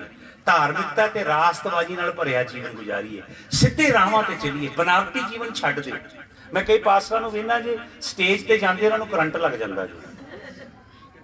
ਮੈਂ ਕਈ ਵਾਰੀ ਹੈਰਾਨ ਹੁੰਦਾ ਵੀ ਪਹਿਲਾਂ ਤੇ ਬੰਦਾ ਕੁਝ ਹੋਰ ਸੀ, ਸਟੇਜ ਤੇ ਆਂਦੇ ਕੁਝ ਹੋਰ ਹੋ ਗਿਆ ਜੇ। ਇਹ ਸਟੇਜ ਦਾ ਜੀਵਨ ਨਾ ਜੀਓ, ਸੇਵਕੋ। ਕੋਈ ਨਹੀਂ ਜੇ ਸਟੇਜ ਦਾ ਜਾਲੀ ਜੀਵਨ ਇਹਨੇ ਨਹੀਂ ਬਚਾਣਾ ਜੀ। ਸੱਚਾ ਜੀਵਨ ਪ੍ਰਭੂ ਦੇ ਲਈ ਜੀਏ ਅਸੀਂ ਹਾਲੇਲੂਇਆ। ਆਓ ਅਸੀਂ ਸਭ ਆਪਣੇ ਪੈਰਾਂ ਤੇ ਖੜੇ ਹੋਈਏ। ਹਾਲੇਲੂਇਆ। ਸਭ ਆਪਣੇ ਪੈਰਾਂ ਤੇ ਖੜੇ ਹੋਈਏ ਹਾਲੇਲੂਇਆ। ਆਪਣੇ ਹੱਥ ਉਠਾਈਏ ਆਪਣੀ ਅੱਖਾਂ ਬੰਦ ਕਰੀਏ। ਹਾਲੇਲੂਇਆ। ਸਭ ਆਪਣੀ ਅੱਖਾਂ ਬੰਦ ਕਰੀਏ। ਹਾਲੇਲੂਇਆ। ਹਾਲੇਲੂਇਆ। अपने हाथ उठाइए सर। हालेलुया। जटामासी का इत्र लाई हूँ। अपनी हस्ती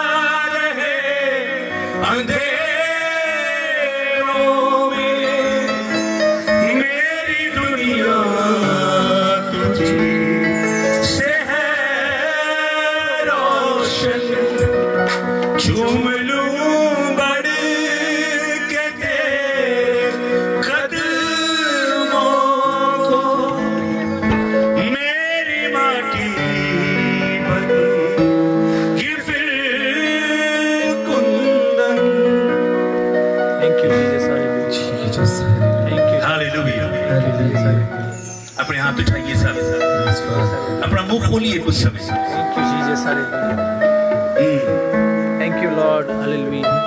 ਯਿਸੂ ਮਸੀਹ ਦੇ ਜਵਾਨੀ ਦੇ ਪਵਿੱਤਰ ਲਹੂ ਦੇ ਵਿੱਚ ਅਗਰ ਤੁਸੀਂ ਨਹਾਤੇ ਨਹੀਂ ਮੁਕੰਮਲ ਤੌਰ ਤੇ ਫਿਰ ਤੁਹਾਡਾ ਚਰਚ ਜਾਣ ਦਾ ਕੋਈ ਫਾਇਦਾ ਨਹੀਂ ਫਿਰ ਤੁਸੀਂ ਜਿਹੜਾ ਤਾਰਾ ਟੰਗਣਾ ਜੇ ਨਾ ਹੁਣ ਉਹਦਾ ਕੋਈ ਫਾਇਦਾ ਨਹੀਂ ਹਾਲੇਲੂਇਆ अपने हाथ उठाइए सब।